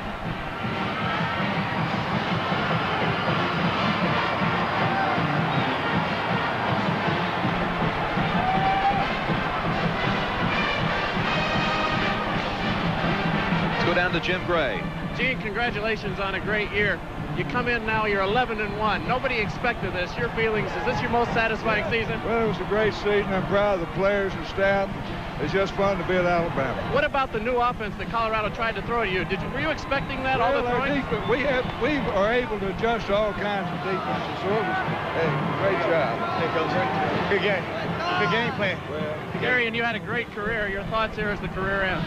Hey, it came to a, it came to a uh, exciting end. I wouldn't say disappointing. Uh, we did we, we did what we had to do. Uh, we made a lot of mistakes early in the cost us. But uh, you know we got a heck of a ball team. They'll be back. You were a great college player. We've all enjoyed it. Let's go back upstairs to Jim. Yes, thanks for the memories. Congratulations, Alabama. So for Dan Fouts, Andrea Joyce, and Jim Gray, Jim Nantz saying so long from the Blockbuster Bowl, where the final score is Alabama 30, Colorado 25. Later today on CBS Sports, the Dallas Cowboys take on the Chicago Bears in an NFC wildcard game. It all starts with the NFL today at 12 noon Eastern, the last word before kickoff. Stay with us. More bowl action this week. You've been watching the Blockbuster Bowl on CBS Sports. Happy holidays, everybody.